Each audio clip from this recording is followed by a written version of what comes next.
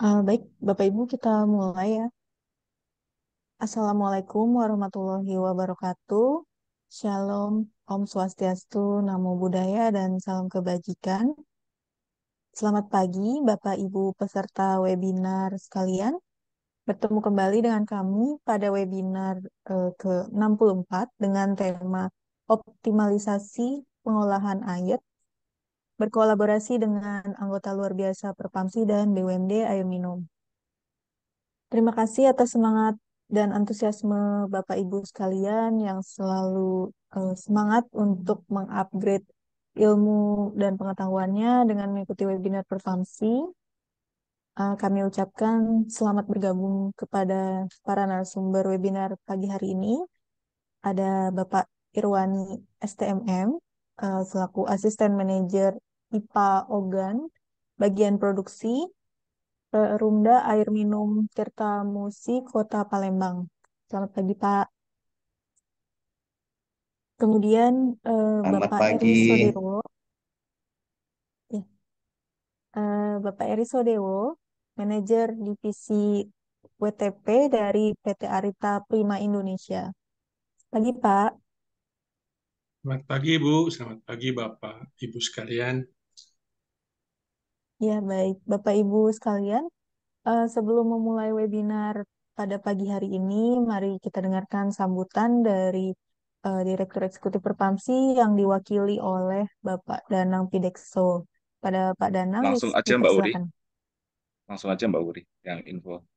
Oh, baik. Oke, baik. Terima kasih Pak Danang. Uh, Bapak Ibu, sebelum memulai webinar pagi hari ini, uh, kami informasikan kembali untuk uh, memfollow sosial media Perpamsi di Instagram at Perpamsi dan Facebook fanpage Perpamsi serta uh, kunjungi website Perpamsi agar tidak ketinggalan info-info uh, seputar air minum dan kegiatan dari Perpamsi seperti webinar, kemudian beasiswa Petirta dan uh, pelatihan dan informasi lainnya. Bapak dan Ibu peserta webinar juga kami ingatkan untuk jangan lupa mengisi daftar hadir karena e-sertifikat uh, dikhususkan bagi peserta yang hadir dan mengisi daftar hadir. Dan nantinya akan ada lima souvenir dari Perpamsi untuk peserta yang beruntung. Uh, baik Bapak Ibu sekalian, uh, mari kita mulai sesi webinar pagi hari ini yang akan dipandu oleh uh, Bapak Danang sebagai moderator. Pada Pak Danang dipersilakan. Iya, makasih Mbak Uri. Selamat pagi Bapak Ibu sekalian. Assalamualaikum warahmatullahi wabarakatuh. Salam sehat, salam bahagia, salam tukang ledeng seluruh Indonesia. Hari ini kita akan uh, berdiskusi terkait tema kita yaitu optimalisasi instalasi pengolahan air. Sama kita sudah ada dua narasumber, Pak Irwani. Pagi Pak Irwani. Pagi Pak Danang, salam sehat. Ya, aman ya Palembang Pak? Aman, aman, aman. Alhamdulillah. Jembatan, jembatan Ampera masih ada Pak? masih aman Pak. Banyak oh, perahu iya, bidar kemarin. Ya, ya. Masih selanjutnya Pak oh ya Pak Irwani ini uh, asisten manajer IPA di bagian produksi Permuda Tirta Musi Palembang. Ya, 15 tahun ya Pak Irwani ya. Kalau di Perumda Tirta Musi yang organnya baru 13 tahun, Pak. Kerja juga baru itu, baru 22 tahun. Oke, baik. Terus kemudian eh, narasumber yang kedua ada Pak Ari Sudewo. Pak Ari Eri Sudewo ini manajer divisi WTP PT Arita Prima Indonesia. Salah satu anggota luar biasa Perpamsi. PT Arita ini sebenarnya menawarkan one stop one stop shopping ya, Pak Eri ya. Mulai dari konsultan, uh, terus juga berbagai produk terkait dengan valve dan sebagainya. Baik, terkait dengan optimalisasi instalasi pengolahan air ini, sebenarnya saya awam juga nih, Pak Erwani, Pak Eri. Ada beberapa pertanyaan ya, mungkin semoga bisa terjawab di diskusi kita pada pagi hari ini. Sebenarnya IPA yang optimal itu yang seperti apa sih? Apakah misalnya pipa 100 liter per detik itu apakah juga harus keluarnya 100 liter per detik. Juga ada beberapa uh, istilah terkait dengan misalnya idle capacity dan juga up rating. Apa aja sih yang bisa di pipa yang bisa di up rating itu yang seperti apa sih sebenarnya teknisnya. Ya semoga beberapa hal itu yang nanti bisa terjawab lah di diskusi kita pada pagi hari ini. Mungkin untuk pertama saya silakan Pak Irwani dari PDMT Tamusi Palembang untuk menyampaikan paparannya. Silakan Pak Irwani. Siap, siap Pak. Terima kasih.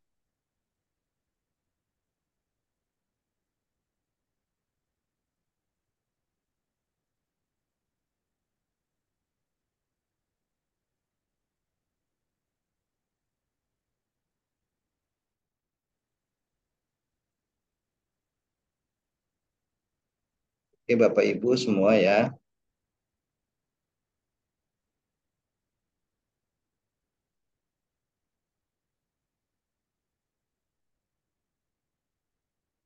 Assalamualaikum warahmatullahi wabarakatuh. Ini suaranya kedengar nggak Pak? Wabarakatuh. Dengar, dengar. Silakan Ada. lanjut Pak. Oke, Ada jelas, terima Pak. kasih. Jelas ya. Jadi Bapak-Bapak hadirin sekalian, kami kembali haturkan terima kasih kami sebesarnya kepada pihak Perpamsi ya yang pada pagi hari ini hingga menjelang siang ini membuka waktu atau ruang bagi teman-teman untuk sharing atau berbagi cerita terhadap permasalahan di instalasi masing-masing. Yang kami hormati Mbak Urian Nisa tadi selaku pembuka acara, kemudian rekan kami Pak Eri Sadewo. Dalam kesempatan ini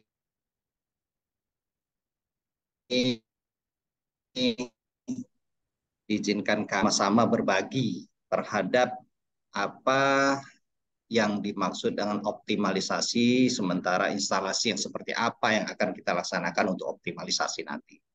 Bapak-bapak hadirin sekalian, saya juga sedikit apa ya pagi tadi terkejut sampai peserta itu hampir 400 lebih tadi Pak Danang ya 500 nih Pak. Ini 500, 500 nih, ya. Nah ini menunjukkan bahwa kita kita para teman-teman yang bekerja di PDAM maupun para praktisi dan juga saya lihat tadi ada beberapa teman yang pagi tadi kontak kita ada dari akademisi bahkan dari konsultan mereka semua ada rasa care atau perhatian terhadap optimalisasi pengolahan instalasi air minum yang ada di Indonesia khususnya. Baiklah Bapak Ibu, kita mulai saja apa yang akan kita laksanakan, kemudian langkah-langkah apa saja yang harus kita lakukan untuk optimalisasi itu sendiri. Nah, Bapak Ibu, kita mulai dengan kata-kata kita dulu pada pagi hari ini bahwa tidak ada kata terlambat untuk mulai menciptakan kehidupan yang kamu inginkan. Karena hidup bukan tentang menunggu badai berlalu, tapi belajarlah menari di tengah-tengah hujan. Ya. Jadi filosofi ini memang sengaja kami ambil Bapak Ibu.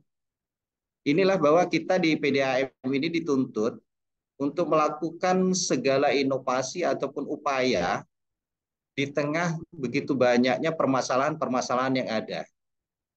Tapi kita jangan putus asa.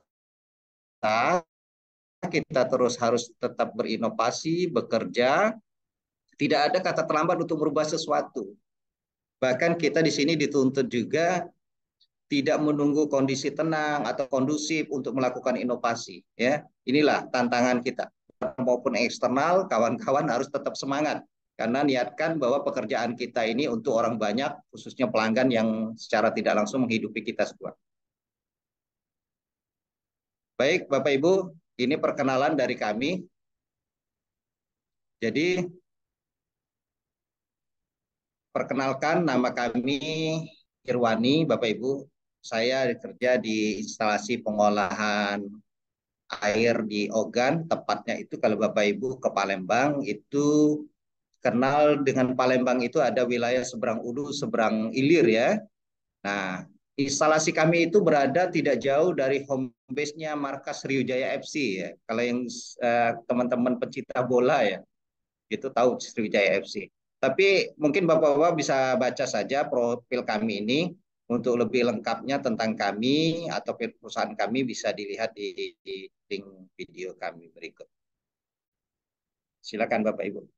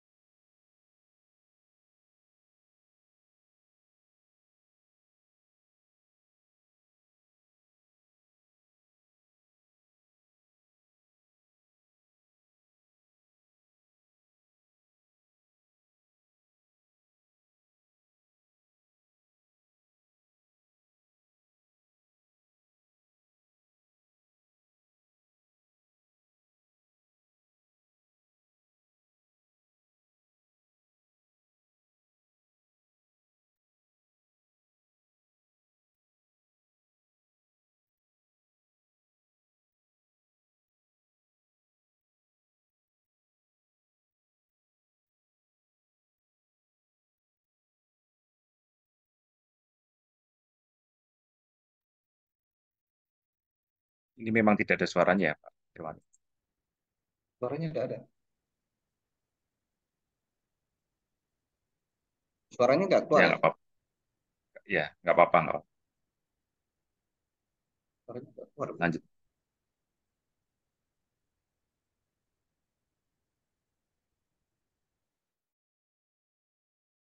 Pak Irwan. Udah selesai. Nanti kita jelasin. Ya.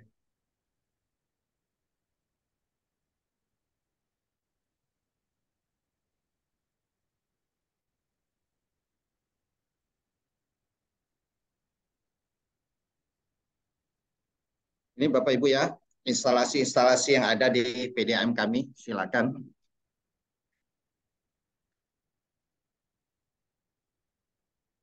Nah, inilah tempat aktivitas kami sehari-hari Bapak Ibu. Yang paling besar berapa kapasitasnya, Pak? Paling besar sekarang kita di Ogan karena dua unit se itu ada 1300 LPD. Satunya 800, satunya 500. Ini untuk mempermudah pelayanan kita buat poster-poster ya biar tekanan ke pelanggan memang relatif terjaga demi kebaikan kita semua biar pelanggan untuk meminimalisir penggunaan pompa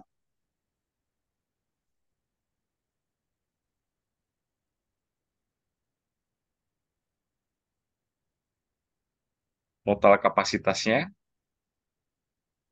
Kapasitas masing-masing instalasi kalau ini variatif. Kalau yang besar kita ada empat kapasitas instalasi besar, lima dengan yang upgrade ini, di total hampir sekarang 5.500 liter per detik, Pak. Jadi total 5.500, ya? seluruh instalasi kita 5.500. Dan ini kita juga selain booster, kita buat unit ya central business unit guna mempercepat pelayanan biar pelanggan tidak terlalu jauh menjangkau hanya kantor unit saja. Jadi memang pelayanan kita buat senyaman mungkin, sedekat mungkin dengan pelanggan untuk mempercepat pelayanan. Dan ini 5, merata 500. baik di Palembang itu dibagi. Ya, Pak Danang? 5.500 dengan total sekarang pelanggan? Total pelanggan kita sekarang sudah 312.244 pelanggan. Jadi kalau kita lihat sekarang cakupan untuk kota Palembang ini sudah mencapai 85 persen. Kita ada swasta, cuma kapasitasnya relatif kecil Bapak Ibu. Nah ini forum pelanggan kita. Kita buat forum pelanggan memang untuk menjembatani antara kita perusahaan dengan pelanggan.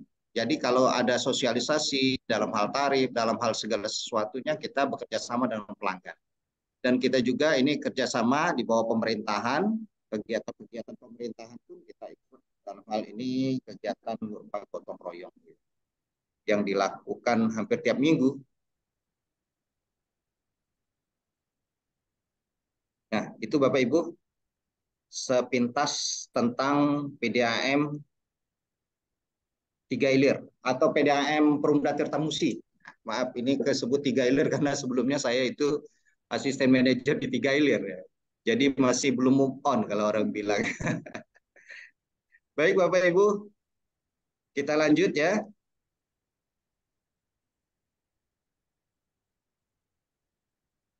Oke.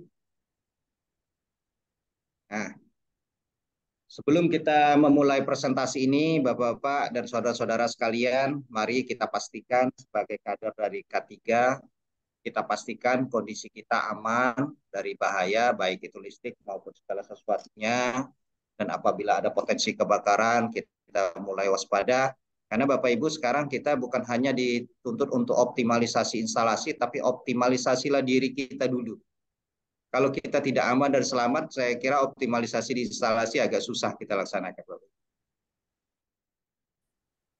Oke, kita mulai berikutnya. Nah, inilah PDAM kita Bapak Ibu. Yang dikatakan optimalisasi itu seperti ini. Kita mengharapkan instalasi kita itu dengan kapasitas yang baik, optimal, jumlah baik dari segi jumlah maupun dari segi kualitas. Ini yang kita harapkan. Bahkan yang namanya instalasi itu kita mengharapkan memang hasilnya yang optimal. Tapi di balik itu semua inilah tantangan kita.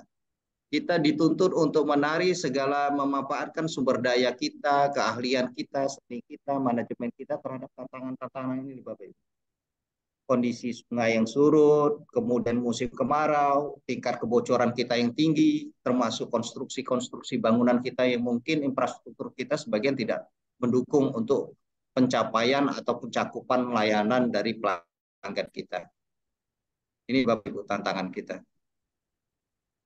Nah, kita kembali ke dasar dari pengetahuan kita tadi tentang pengolahan air minum Bapak Ibu. Saya kira Bapak-bapak dan saudara-saudara juga sudah sudah tahu bahwa air yang ideal itu inilah Bapak Ibu. Air yang jernih, tidak berwarna, tidak berbau, tidak berasa, bebas kuman dan bebas bahan berbahaya sumber air baku pun Bapak Ibu mungkin kita lewatkan saja karena kami yakin Bapak Ibu sudah mengetahui itu tinggal kita di Indonesia ini ada beberapa daerah yang menggunakan air permukaan, sebagian juga menggunakan air tanah.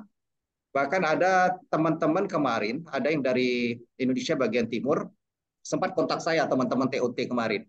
Pak, ini kita dari PDAM sudah mulai turun gunung. Gitu saya sempat bertanya loh, turun gunung itu apa maksudnya? Apakah turun membawa ilmu apa ke bawah? Ternyata apa, Pak?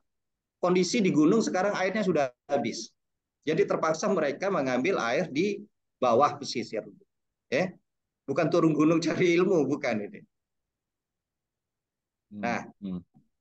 ini Bapak-Bapak juga sudah lihat sendiri terhadap kualitas kita, apa yang upaya yang harus kita lakukan untuk optimalisasi optimalisasi ini kembali Bapak Ibu ya, kita harus lihat dulu. Untuk mengoptimalisasi instalasi atau pengolahan kita itu, kita lihat dulu hambatan-hambatan kita itu apa. Kita pelajari masing-masing perbagian. Ya. Jadi khusus untuk negara maju itu kalau di tempat-tempat negara maju kita standar pengolahannya memang sudah benar-benar standar air minum yang hampir setiap sarana umum itu itu ada tempat air minum yang bisa langsung diminum ya. Memang air minum. Tapi di negara kita ini keberadaan air yang langsung siap minum ini masih sangat sulit. Kita ingat dari regulasi-regulasi kita sendiri ya, bahwa dulu kita pernah buat PP nomor 49 2010 kualitas air baku kita itu 5 NTU, tapi itu juga masih belum terlalu meyakinkan masyarakat untuk bisa langsung minum. Dan yang terbaru, mungkin Bapak Bapak mungkin sudah dapat regulasi terbaru ya, Permenkes nomor 2 2023 bahwa air minum itu diharapkan kondisi turbidity-nya itu 3 NTU. Jadi memang benar-benar siap minum. Tapi kembali Bapak-bapak, ini suatu permulaan atau niat baik dari pemerintah membuat regulasi ini biar pelayanan maupun kualitas dari air bersih itu menunjukkan hasil yang lebih baik lagi. Ini. Berikutnya Bapak-bapak dan saudara-saudara, setelah kita melaksanakan webinar atau pembelajaran virtual ini, kita harapkan dari Bapak-bapak bisa melihat instalasi masing-masing.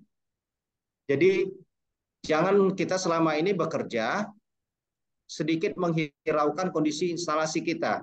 Kita mungkin tidak pernah terpikir instalasi kita ini sedimennya berapa sih luas permukaannya, kanalnya seperti apa, filternya seperti apa, kecepatan masing-masing filter atau kecepatan pengendapan sedimen. Nah, inilah Bapak-bapak.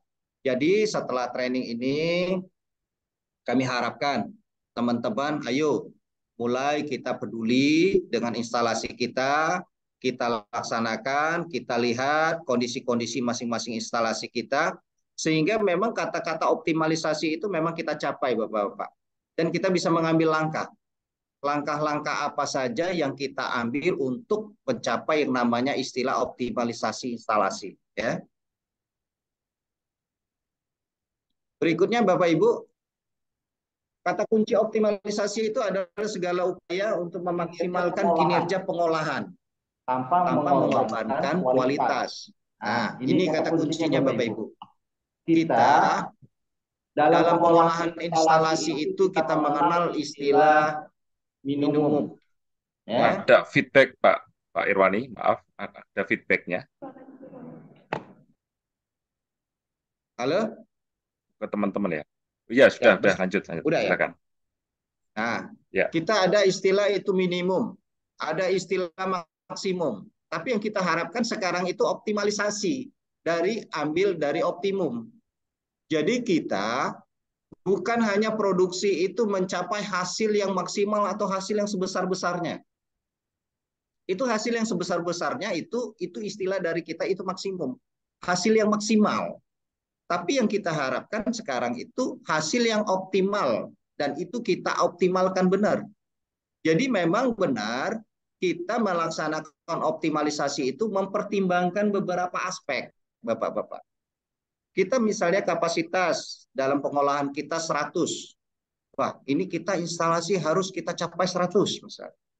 Padahal kita harus lihat dulu kapasitas kita 100 harus kita seimbangkan jumlah pelanggan kita berapa, jaringan kita berapa, kemampuan instalasi kita itu memang apakah benar sudah ideal terhadap perencanaan itu sendiri. Kalau ternyata kondisi tidak ideal, baru kita laksanakan upaya-upaya apa yang harus kita lakukan untuk itu, ya. Nah, Bapak Ibu, untuk mencapai optimalisasi atau melakukan optimalisasi itu, kata pokoknya juga di sini adalah kita harus memiliki data, Bapak-bapak. Ya. Kita untuk mengoptimalisasi itu sangat perlu sekali data, baik itu data primer, data sekunder. Kita acap kali di instalasi kita laporan harian yang kita dapat atau yang dicatat oleh para kawan-kawan operator itu tidak kita analisa. Tidak kita lihat kalau ada perubahan, ada efek tersendiri, pengaruh tertentu terhadap bagian-bagian kompartemen-kompartemen yang lain. Dan ini dari hari ke hari terus berlanjut. Sehingga pada saat timbul permasalahan sudah terakumulasi baru kita sadar, oh ternyata instalasi kita ini bermasalah di bagian ini. Bermasalah di bagian ini. Ternyata begitu kita lihat, laporan kendala ataupun permasalahan-permasalahan itu sudah ada di laporan harian, tapi tidak kita analisa, tidak kita pelajari. Nah, data-data itu sendiri bisa kita lihat dan kita dapat dari pertama laporan harian, kemudian kita dapat dari hasil analisa.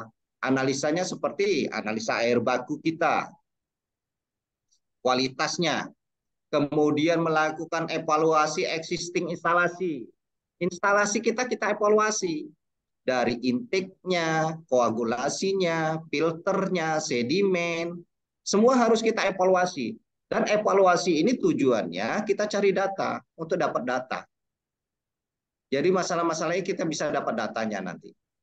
Nah, dari analisa existing ini kita lakukan kelanjutan berupa analisa hasil produksi. Jadi dari segala upaya-upaya yang sudah kita lakukan itu, hasil yang didapat dari produksi kita seperti apa. Karena kita mengharapkan untuk optimalisasi itu hasil yang memang hasilnya optimal, tapi tidak melanggar ataupun mengganggu kualitas air kita sendiri yang kita harapkan. Ya, ini. Kemudian kita analisa hasil produksi kita dan setelah dapat data-data ini semua, kita kaji ya mungkin ada lembaga-lembaga tersendiri kalau kita ada yang namanya litbang penelitian dan pengembangan. Tapi kami juga di bagian produksi ada sesama asmen bekerja sama berdiskusi tidak hanya membahas masalah instalasi kami tapi membahas instalasi-instalasi teman yang lainnya. Sehingga kita dapat kata ataupun kesepakatan dan ilmu yang baru terhadap apa yang harus kita lakukan. Sehingga kita dapat rencana nantinya apa yang harus kita lakukan untuk optimalisasi kita seperti yang ditanyakan Pak Danang tadi. Apakah instalasi kita ini udah ideal nih? Kemudian instalasi kita ini bisa di-upgrade enggak? Instalasi kita ini sudah optimal tidak? Jadi di situ kita letaknya. Kita lihat dulu, kita punya data dulu. Nah, ya. Untuk itu kita harus merunut dari tahapan-tahapan itu sendiri. Nah, ini kita mulai dari intake ya. Bapak-bapak mungkin sudah tahu intake itu tempat tangkapan air ya. Nah, tangkapan air ini sendiri harus kita kaji, Bapak-bapak. Kita analisa dari segi kualitas maupun kuantitasnya. Ini yang saya sampaikan tadi. Kita harus punya data. Salah satunya ini terjadi kemarin juga ada PDAM daerah menelpon kami. Pak, ini pompa kami anginan. Bagaimana ngatasinnya kayak gitu. Kita sepintas terkontak bahwa hal-hal yang teknis. Bapak, kalau pompanya anginan itu pakai PSD enggak? Itu coba ini palepnya diatur, bukaannya kecil dulu. Baru kita perbesar. Eh ternyata begitu dia kirim fotonya bukan anginan Bapak-bapak. Memang kondisi pompanya sudah di atas angin gitu. Jadi memang level sungai itu sudah sangat surut sekali. Tapi masih kondisi airnya masih ada. Berarti apa? Inilah kajian kita kita memasang pompa itu tidak di posisi yang optimal. Kondisi ke kritis atau kemarau atau sekarang kan memasuki musim kemarau nih. Jadi bapak-bapak dan saudara-saudara memang harus mengkaji sebelum kita stop produksi karena enggak ada air, lihatlah intake masing-masing bapak-bapak. Kondisi pompa kedalamannya berapa? Ini kemarau berapa bulan lagi? Lihat, kita masing-masing intake harus punya yang namanya mistar atau level sungai. Jadi kita bisa tahu bulan sekian, tanggal sekian, prediksi. Meskipun itu tidak tepat, cuma prediksi itu ada, dasar itu ada. Ini, ini kita mulai dari intake ya. Nah, berikutnya Bapak-Bapak. Nah, kita lihat existing kita. Dari pipa, pompa. Nah, ini merupakan data Bapak-Bapak. Ini harus kita punya, harus kita ambil. Nah, ini kami ambil yang instalasi organ kami, Bapak. Kami ambil data kondisi kualitas air bersihnya, air bakunya. Dari air baku ini kita dapat data kekeruhan, pH, kolipom, warna, TDS, DO, dan besi. Di sini kita bisa dapat, Bapak-Bapak, oh ternyata yang bermasalah itu terletak di mana? Terletak di warna yang lebih dari standar baku mutunya kemudian terletak di kandungan kadar besi yang lebih besar dari kandungan baku mutunya. Nah, kita baru melakukan upaya nih. Kita sudah dapat data dulu nih. Oh, permasalahan kita ini apa? Air berwarna. Karena pada masuk kemarau ini, air-air di rawa itu karena sungai surut, itu masuk ke sungai, Bapak-Bapak. Ini kami bisa memprediksi sekitar bulan 10-11, Oktober, November, sampai Desember, itu terjadi browning biasanya. Airnya sedikit berwarna seperti teh. Nah, ini antisipasi sudah kita mulai, mulai lakukan. Biar hasil kita optimal, produksi masih tidak terganggu, hasilnya baik, sudah ada antisipasi. Mungkin filter kita buat sistem seperti apa. Tadi kita di air baku kita buat sistem filternya mau one layer atau dua layer, silakan. Di situ kita analisa, kita kaji Bapak-Bapak ya. Nah, ini analisa lengkap. Analisa lengkap dari analisa kita hasil air baku. Dari sini Bapak-Bapak, kembali kita analisa juga kemampuan pompa kita. Kita intake itu ada dua di organ itu intake organ satu, intake organ dua. Organ satu itu sistemnya kanal, dibangun sistem kanal. Sementara intake organ 2 itu dibangun sedikit menjorok ke sungai, bahkan sepertiga dari sungai organ kita. Jadi kondisi sekarang, kemarin kami coba, satu pompa itu kapasitasnya 30 300 LPS. Ternyata sekarang hanya mampu 295 LPS, Bapak-Bapak. Kita tinggikan frekuensi, tekanan naik, masih tidak dapat. Berarti apa? Ini kondisinya sudah tidak tepat.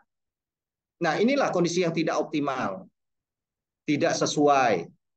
Jadi kita lihat yang masih sesuai itu apa? Diameter oke, okay, masih tetap. Head pompa mungkin masih baik. Ternyata kapasitas pompa yang tidak baik. Nah, di sini kita ambil ambil upaya nantinya. Apa yang harus kita lakukan ya? Dari hasil itu kita buat kurva, permasalahannya apa? Ternyata permasalahannya itu level sungai yang surut bisa kita lakukan upaya-upaya nantinya kita ambil. Nah, di sini Bapak-bapak, kita di intake organ itu awalnya karena kondisinya pakai kanal, kita buat pompa feeder atau pompa pengumpan. Kita pasang satu pompa yang fungsinya itu memompakan di kanal untuk kita sumber air baku kita di intake. Hanya untuk mengumpan dalam arti menambah jumlah kubikasi air bakunya. Nah, ini salah satu cara. Akhirnya teman-teman juga kemarin punya ide, ini intake organ 2 sedikit mengarah ke sungai. Mengapa tidak kita connect atau akhirnya kita ambil inovasi kemarin, akhirnya di connect. Jadi alhamdulillah kita instalasi organ untuk menghadapi kemarau ini bisa dikatakan kami kondisi aman. Hasilnya memang benar-benar optimal dari kualitas maupun kuantitas itu dijamin. Jadi Bapak, kembali ya, ini kita mulai dari intake ya. Setelah diskusi ini, lihat intake kita masing-masing Bapak-Bapak. Optimal nggak posisi pompa kita? ya Kualitasnya, kualitas air baku seperti apa? Antisipasi, ini semakin hari semakin kemarau, air semakin habis ini. Nah, ini kita mulai kerucutkan apa permasalahan-permasalahan di intake ya. Karena ini kita waktu sedikit terbatas, jadi materi ini sedikit kita cepat ya. Nanti kami share, kami bantu, termasuk nanti juga setelah diskusi ini juga virtual ini, nantinya boleh tanya jawab dengan kami dengan biodata yang ada di WA kami atau di grup. Nanti kita bisa diskusi lebih lanjut nantinya. Nah, kemudian ini Bapak Pak, kita mulai ke koagulasi di kaskade. Ingat, tujuan kita untuk optimalisasi Bapak Pak yang namanya koagulasi ini sangat penting proses pengadukan yang terjadi. Kita harus tahu ilmunya untuk hasil optimum itu seperti apa.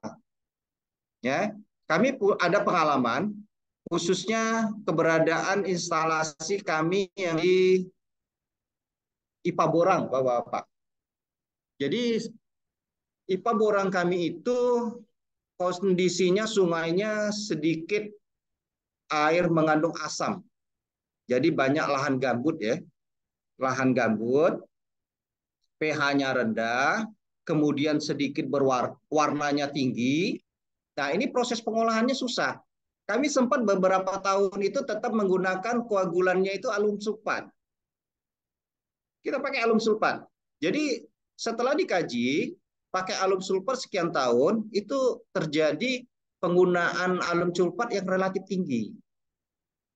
Alum tinggi mengakibatkan pH sudah rendah, ditambah alum dalam jumlah banyak, kualitas pH semakin rendah. Akhirnya kita tambahkan kapur untuk menaikkan pH. Setelah menaikkan pH lebih tinggi, akhirnya impuritis atau kotoran-kotoran dari kapur itu yang bubuk-bubuknya sebagian terendapkan ke pelanggan. Nah, ini kita kaji sekian tahun, hasilnya banyak sekali keluhan Bapak-Bapak.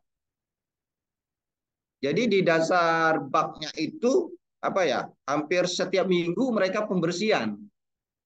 Nah, ini merupakan bahan kimia ingat Bapak-bapak. Ini bagian dari optimalisasi juga karena ini ada biaya yang harus kita pertimbangkan di sini. Nah, jadi kita ambil langkah kemarin kita analisa beberapa bahan kimia yang kita pakai, kita sepakatilah kita pakai PAC kemarin. Ternyata PAC ini kita tidak bilang produk ya, PAC ini itu bisa dipakai tidak terlalu menurunkan pH. Jadi lebih bersifat baper dia. Jadi mempertahankan pH tidak terlalu drop. Jadi kita tidak lagi menggunakan kapur yang terlalu banyak untuk instalasi boran. Dan airnya pun turbidity yang dihasilkan hasilnya lebih jernih. Bahkan turbidity-nya sekarang mencapai satu sampai satu setengah. Yang dulunya mencapai turbidity sampai 4 pada saat itu. Tapi masih di bawah Permenkes. Karena pelanggan sekarang itu bapak-bapak mereka sudah biasa terdidik ataupun bahkan mereka bisa lihat di Google, bisa dilihat di medsos, kondisi-kondisi air bersih yang seperti apa. Bahkan pelanggan-pelanggan sekarang sudah cerdik-cerdik Bapak-bapak. Ini adalah fungsi media sosial. Dulu kita kalau dengan pelanggan itu kondisinya yang penting airnya jernih, mereka tidak komplain. Sekarang pelanggan selain air jernih, mereka tahan beli apa ya kertas lakmus ya di pasar itu ya, meskipun itu tidak tidak standar sebenarnya. Mereka cek sendiri mereka laporan ke kita. Pak pH-nya seperti ini kayak gitu. Nah ini tantangan bapak-bapak bagi kita, biar hasilnya memang benar-benar kita optimal, ya. Jadi ada dua optimalisasi sudah kita lakukan. Pertama optimalisasi kubikasi produksi kita melalui intake maupun kondisi intake. Kedua, optimalisasi bahan kimia kita. Kita dituntut di sini untuk mematuhi peraturan cash. Pernah ada teman-teman bilang, Pak, air kami sangat jernih sekali, Pak. Kami kasih ke pelanggan. Turbidity-nya satu. Sementara peraturan Permenkes tiga. Apakah ini salah? Tidak, benar juga. Tapi setelah dikaji, terjadi pemborosan bahan kimia yang relatif tinggi. Padahal bisa dibuat tiga. Kita tetap mematuhi regulasi itu di bawah tiga pH turbidity-nya. Karena apa? Perusahaan sekarang kan hitung-hitung. Kebutuhan bahan kimia dari tahun ke tahun semakin tinggi, semakin naik. Nah, itu harus kita optimalisasi. Bapak-bapak berikutnya kita juga ini mulai di koagulasi juga harus kita pertimbangkan bahwa Pak parameter di sana apakah sistem pengadukannya itu masa tinggalnya itu sudah standar. Ukur bapak-bapak berapa panjang lebar kedalaman dari masing-masing sekat-sekat populasi kita ya. Nah jangan bapak-bapak kerja maaf sebelumnya sekian tahun berapa meter sedimen kita kita nggak tahu Berapa kedalaman populasi kita kita nggak tahu. Pokoknya kita kerja kerja kayak gitu aja. Padahal optimalisasi itu dimulai dari sini. Kita harus tahu dulu instalasi kita ini kapasitasnya berapa, dimensinya seperti apa. Jadi kita bisa baru bicara nanti, wah ini bisa di-upgrade. Oh ini bisa dioptimalkan. Oh ini bisa kita upayakan kayak gitu. Ya. Ini populasinya. Kemudian kita lanjut ke ini Bapak, ini standar. Standar dari SNI 6774 2008. Mungkin bisa Bapak lihat saja nanti di materinya. Standar-standar ini, filter kita gradiennya berapa, kecepatannya berapa, silakan dilihat saja nantinya. Karena masing-masing instalasi kan beda gradien kecepatannya. Nanti kita ukur, nanti ada satuan rumus-rumus tersendiri yang kita pakai, jadi kita bisa tahu instalasi kita ini masih ideal atau tidak, bisa di-upgrade atau tidak nantinya. ya. Berikutnya Bapak-Bapak, ini sedimentasi. Sedimentasi pun sangat penting Bapak-Bapak untuk optimalisasi. Jangan Bapak-Bapak berpikir, wah ini kurang optimal, kita tambahkan debit. Biar hasilnya baik. Tapi kita tidak mempertimbangkan apa? Ini Bapak, ini meskipun ini pengotor kumpur tapi harus kita hitung. Lumpur ini harus kita hitung Bapak-bapak. Ketinggian lumpur ini satu bulan berapa? Seminggunya berapa? Jadi harus berapa kali kita harus pengurasan. Jadi kalau memang mau di-upgrade, ini dari sini bisa kita lihat nantinya. Karena sedimentasi itu kita lihat hasil dari awal sampai akhir itu turbidity yang dihasilkan berapa. Nah, ini pengalaman bagi kami di di, di Perumda Tirtamusi ini ya, teman-teman. Kita ada instalasi yang airnya itu dengan kondisi kecepatan itu memang kemarin terjadi upgrade yang dari 600 menjadi 800. Memang bentuknya konstruksi. Tapi begitu kita naikkan 800, itu ploknya lebih mengambang ke well ujung sedimen. Akhirnya masuk ke filter, kinerja filter menjadi berat. Nah, kita hitung jumlah lumpurnya. Dari selama ini kita kuras dua bulan sekali. Ternyata dari 600 ke 800 kita hitung jumlah lumpurnya, ternyata harus kuras satu bulan lebih satu minggu sekali. Nah, ya, jadi kalau mau optimalisasi dihitung bapak-bapak ya, jumlah lumpurnya ini nih waktunya itu berapa, banyaknya lumpur kita berapa, dari TDS kita itu berapa, atau kalau mau bapak-bapak mau sederhana, mungkin pakai corong kerucut segitiga itu ya. Ambil, misalnya satu liter air baku, dikasih bahan kimia, kita tampungkan di situ, berapa banyak lumpurnya.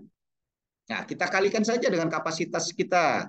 Itu bisa, metode sederhana seperti itu juga bisa. Jadi kita bisa memang mendapatkan ideal. Nah, akhirnya kembali ke modifikasi yang kami lakukan kemarin, optimalisasi yang kami lakukan dari upgrade 600 menjadi 800, itu kami pasang plat settler namanya. Jadi di tengah-tengah sedimen ini, itu kita pasang plat settler yang tujuannya menghalang atau mempercepat plok yang terbentuk itu di sedimentasi memang benar-benar mengendap sempurna. Gitu. Ya. Nanti bisa ditanyain Bapak-Bapak, prosesnya seperti apa. Akhirnya dari turbidity di ujung sedimen itu dari 5 sampai 8 sekarang hanya mencapai 3. Nah, itu di ujung sedimen pun kami sudah memenuhi standar untuk kesehatan sebenarnya. Tapi tetap kami lakukan proses filtrasi. Berikutnya Bapak, nah kita kenal di proses sedimentasi itu dari kecepatan yang terjadi, pengendapan yang terjadi, itu ada yang namanya bilangan Reynolds, ya, kemampuan gerakan turbulensi dari air yang terjadi, atau bisa juga memakai persamaan Proud, ya. Ini nanti kita kami berikan bapak-bapak persamaan-persamaan atau rumus-rumus yang digunakan jadi bisa Bapak-Bapak hitung sendiri nanti. Oh ini bilangan Renault kami ini Pak, didapat sekian. Apakah ini permasalahannya Pak? Apakah kami harus upayakan? Kayak gitu. Jadi bisa Bapak nanti bisa kasih datanya, speknya. Nanti juga mungkin Pak Erik ya yang lebih senior masalah perincian ini ya. Itu lebih detail dia punya banyak materi di mana-mana itu kayaknya sudah ya. Nah, ini Bapak-Bapak berikutnya tentang filter.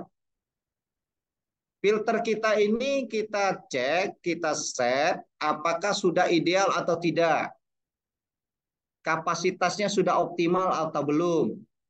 Lantas yang akan kita lakukan untuk optimalisasi seperti apa? Nah ini Bapak-Bapak. Bapak-bapak harus dalam hal ini untuk filternya dicek Bapak-bapak, air masuknya berapa? Banyaknya air masuk ke filter. Jadi misalnya kapasitas 500 liter per detik. Kita punya filter 10. Berarti masing-masing filter jatahnya 50. 50 ini yang masuk dengan keluar itu ideal atau tidak dengan ketentuan SNI 6774. Oh ternyata Pak standar harus dua kali 24 jam baru cuci misalnya. Ternyata filter kita baru satu hari sudah cuci. Kalau sudah satu hari sudah cuci, kita hitung berapa banyak air kita terbuang. Nah, itu harus kita cek. Apa kita langsung ponis, wah ini filternya dibongkar ganti? Tidak.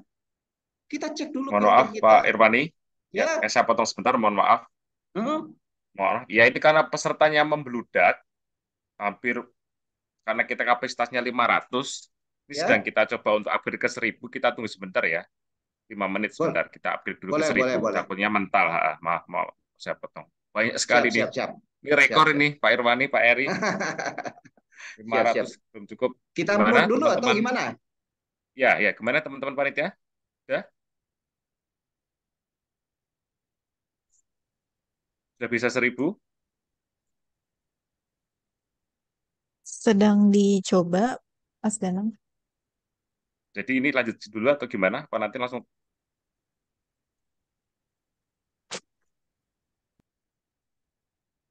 ini membuktikan bahwa teman-teman itu apa ya punya peduli atau antusias untuk mengupgrade instalasi masing-masing ya Iya iya nih menarik sih. Oke gimana? Pak kita lanjut dulu ya. Enggak, saya kalau dilanjut takutnya nanti kepotong keluar gitu Pak Irwan. Oh, boleh, boleh, ya, boleh. Enggak, nah. Tolong diinfo ya nanti eh, teman-teman uh, panitia kalau misalnya mau ini diinfo ke saya biar nanti bisa saya ini. Ya udah lanjut dulu Pak Irwani silakan. Ya, silakan. Nah, Oke, teman-teman ya. Ini kata Pak Panitia ini Pak Danang ini pesertanya banyak sekali nih, bahkan mau hampir nembus ini berarti menunjukkan nih teman-teman, instalasi kita, kita semua senang dan sayang dengan instalasi kita ini. Kalau bisa, ini Pak, instalasi kita tidak usah bangun dulu, tapi kapasitasnya bisa nambah, hasilnya bisa maksimal kayak gitu. Saya sangat senang itu Bapak. Ya, Memang tujuan kita kayak gitu ya. Dengan biaya sekecilnya, optimalisasi kita lakukan, hasilnya sungguh luar biasa nanti ya. Nah, kita kembali ke filter tadi Bapak-Bapak ya. Ternyata setelah kami analisa Bapak-Bapak, filter kami itu ada filter di instalasi IPA 3 hilir. Nah, itu IPA 3 hilir itu Pak Dandang itu dibangun 1928, Pak. Peninggalan Belanda, hmm. Pak. Kalau konstruksinya luar biasa. Pada saat upgrade atau sun perubahan itu sampai tukang itu stemper itu nggak mempan kayak gitu. Untuk memecah betonnya kayak gitu. Jadi akhirnya kita inovasi di filter itu karena dulu filter kami masih sistem literal. Yang lapisan atasnya itu koral, di atas koral itu baru pasir. Yang anehnya, di ujung sedimen kita turbidity itu 3 sampai 4. Tapi begitu masuk filter, setelah proses penyaringan, khususnya filter D kalau kami bilang, itu turbidity-nya naik 6, Pak. Loh, ini kalau kayak gini kami sempat terpikir, wah kalau seperti itu tidak usah disaring lagi kayak gitulah. Karena kok disaring turbidity-nya nambah tinggi. Akhirnya apa? Kita uji coba. Mulai kita analisa, oh ternyata filter itu mengalami clogging. Clogging itu lumpur itu, plok yang lolos di sedimentasi, itu mengikat dari silika-silika kita sehingga porositasnya menjadi kecil. Ini Bapak-bapak, kalau Bapak-bapak lihat nih, porositas nih. Jarak antar pasir ke pasir itu ada pori-pori atau rongga yang harus tertutup akhirnya oleh lumpur atau plok-plok yang mengalir. Pada saat backwash terjadi tidak sempurna karena backwash kita menggunakan air tekanan air pompa biasa. Ingat, nah dengan ada kunci satu lagi Bapak ya. Kalau Bapak-Bapak ingin optimalisasi, Jangan optimalisasi secara keseluruhan dulu. Ingat, kita pelajari dulu, kita trial error dalam artian kita coba satu dulu. Kita di tiga ilir itu ada 12 filter, kita coba dulu satu. Kita anggap apa ya, prototipe lah, contoh lah kayak gitu. Kami mulai bongkar satu filter, kami ganti, pasirnya kami angkat, pasir lama bapak-bapak, itu kita cuci ulang, masih bisa dipakai kita ukur kandungan silikanya masih tinggi, kemudian ukurannya pun mesnya masih standar, hanya terikat oleh plok yang saat pencucian tidak sempurna. Nah, jadi kita adakan kemarin dari Litbang menyarankan kita pakai under drain. Jadi itu Pak Eri Sudewo kan ke kemarin sempat berbincang-bincang dengan kita karena mereka menekuni juga tentang under drain ya. Mungkin kalau mau kunjungan ke PDAM 3 Ilir kami haturi karena yang kami tahu hanya baru dua instalasi di Indonesia yang pakai underdrain ya. Di Indonesia dengan di mana itu di Bogor apa kalau nggak salah. Ada dua tempat baru pakai underdrain. Pakai Leopold underdrain itu. Nah, jadi silakan karena kita sama-sama pejuang PDAM nih, pengolahan air kita sama-sama berbagi masalahnya. Jadi setelah kita pakai underdrain Bapak-bapak, itu yang awalnya turbidity yang dihasilkan 5, kita pakai underdrin, itu hasilnya turbidity-nya di bawah satu, Bapak-Bapak. Tapi memang kembali ini dikaji optimalkah penggunaan underdrain. Kalau dari segi kualitas, oke okay, Pak, sangat optimal sekali. Tapi dari segi biaya, karena ini barang baru, uji coba baru, harganya relatif masih tinggi. tapi apabila kita hitung ah, dengan nilai jual kita sekian, jumlah pelanggan sekian, kubikasi yang dihasilkan itu bisa masuk, sekian tahun bisa BEP, kenapa tidak? Kalau memang meskipun biayanya relatif tinggi tapi menghasilkan yang sangat luar biasa, itu silakan bawa Bapak untuk inovasi di sana. Ya. Jadi nanti mungkin Bapak-bapak di seluruh Indonesia ya yang ada waktu misalnya main ke Palembang, mau lihat sistem underdrain kita, kami persilakan nanti ya. Nah, ini Bapak-bapak mungkin sudah familiar nih bahan-bahan yang kita pakai pasir silika, antrasit, karbon aktif. Nah, ini kembali Bapak-bapak ya ibu-ibu kami jelaskan juga mengenai filter kita. Ini yang kami sampaikan tadi. Waktu pencucian filter itu idealnya berapa? Idealnya itu 18 sampai 24 jam. Kalau itu yang filter biasa, kayak gitu kan. Jadi ini bisa Bapak-bapak lihat nih nanti materi ini ya.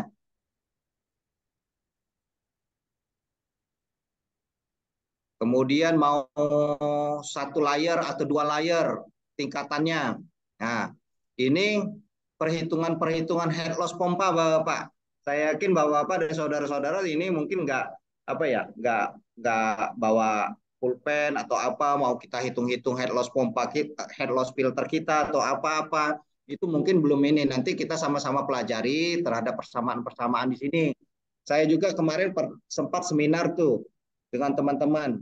Saya kasih hitung-hitungan. Eh ada satu teman yang datang temuin saya, Pak, apa Pak? Kok sesama PDAM kok banyak hitung-hitungan Pak? Ya kan kita sama-sama teman gitu. Ini ada itu saja Pak ya. Padahal memang yang namanya teknis konstruksi apa pun memang harus dihitung kayak gitu. Kalau nggak dihitung ini kita nggak tahu hand loss-nya berapa, tekanannya berapa gitu ya. Oke, Bapak-Bapak, berikutnya ini ukuran pasir. Lihat pasir kita, mungkin Bapak-Bapak perlu sesekali turun tuh ke filter, ajak ngobrol filternya. Ambil pasirnya, dicek, diukur. Eh, ini pasir kamu sudah berjasa nih bagi kita PDAM. Ternyata oh ukurannya sudah mengecil Bapak-Bapak. Sudah terjadi tumbukan antar filter, ternyata sudah halus sekali. Hasilnya pasti nggak akan maksimal. Jadi untuk, untuk untuk optimalisasi itu Bapak-bapak, kita harus rajin-rajin cek instalasi kita. Cek instalasi kita, cek kondisinya, ya.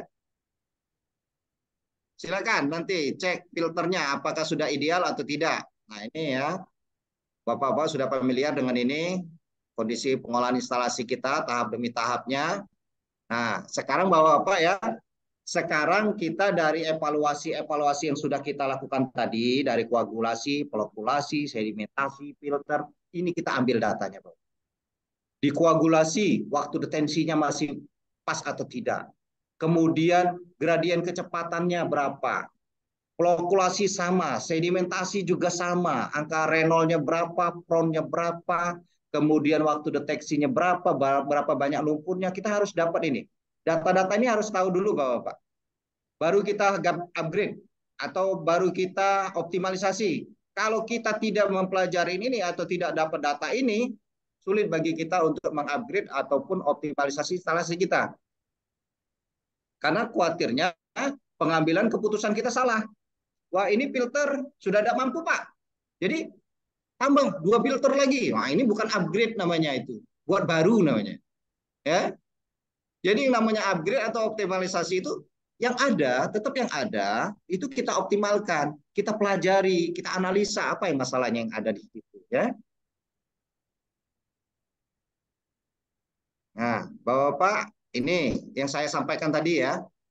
Untuk instalasi kami di IPA Ogan relatif masih standar, hanya terjadi di IPA 3 Ilir yang sedikit kami modifikasi, filternya menjadi under drain, di Karanganyar juga sistemnya under drain dan menggunakan flat settler.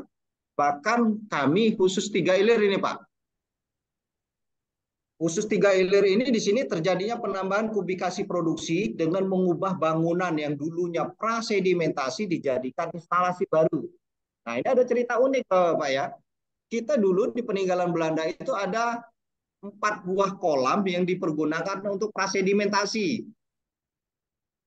Karena kondisi air kita bersih, akhirnya prasedimentasi ini tidak kita pakai. Kemudian pihak perusahaan melakukan analisa, wah ini daripada nganggur, sekian tahun nganggur, enak ini kita rubah jadi sedimentasi. Tinggal kita buat saja pelokulasi dan sekat-sekatnya. Nah, inilah yang dilakukan optimalisasi itu itu Bapak kita punya aset, jangan sampai aset kita ini nganggur tidak termanfaatkan, kita harus berdayakan ini aset ini.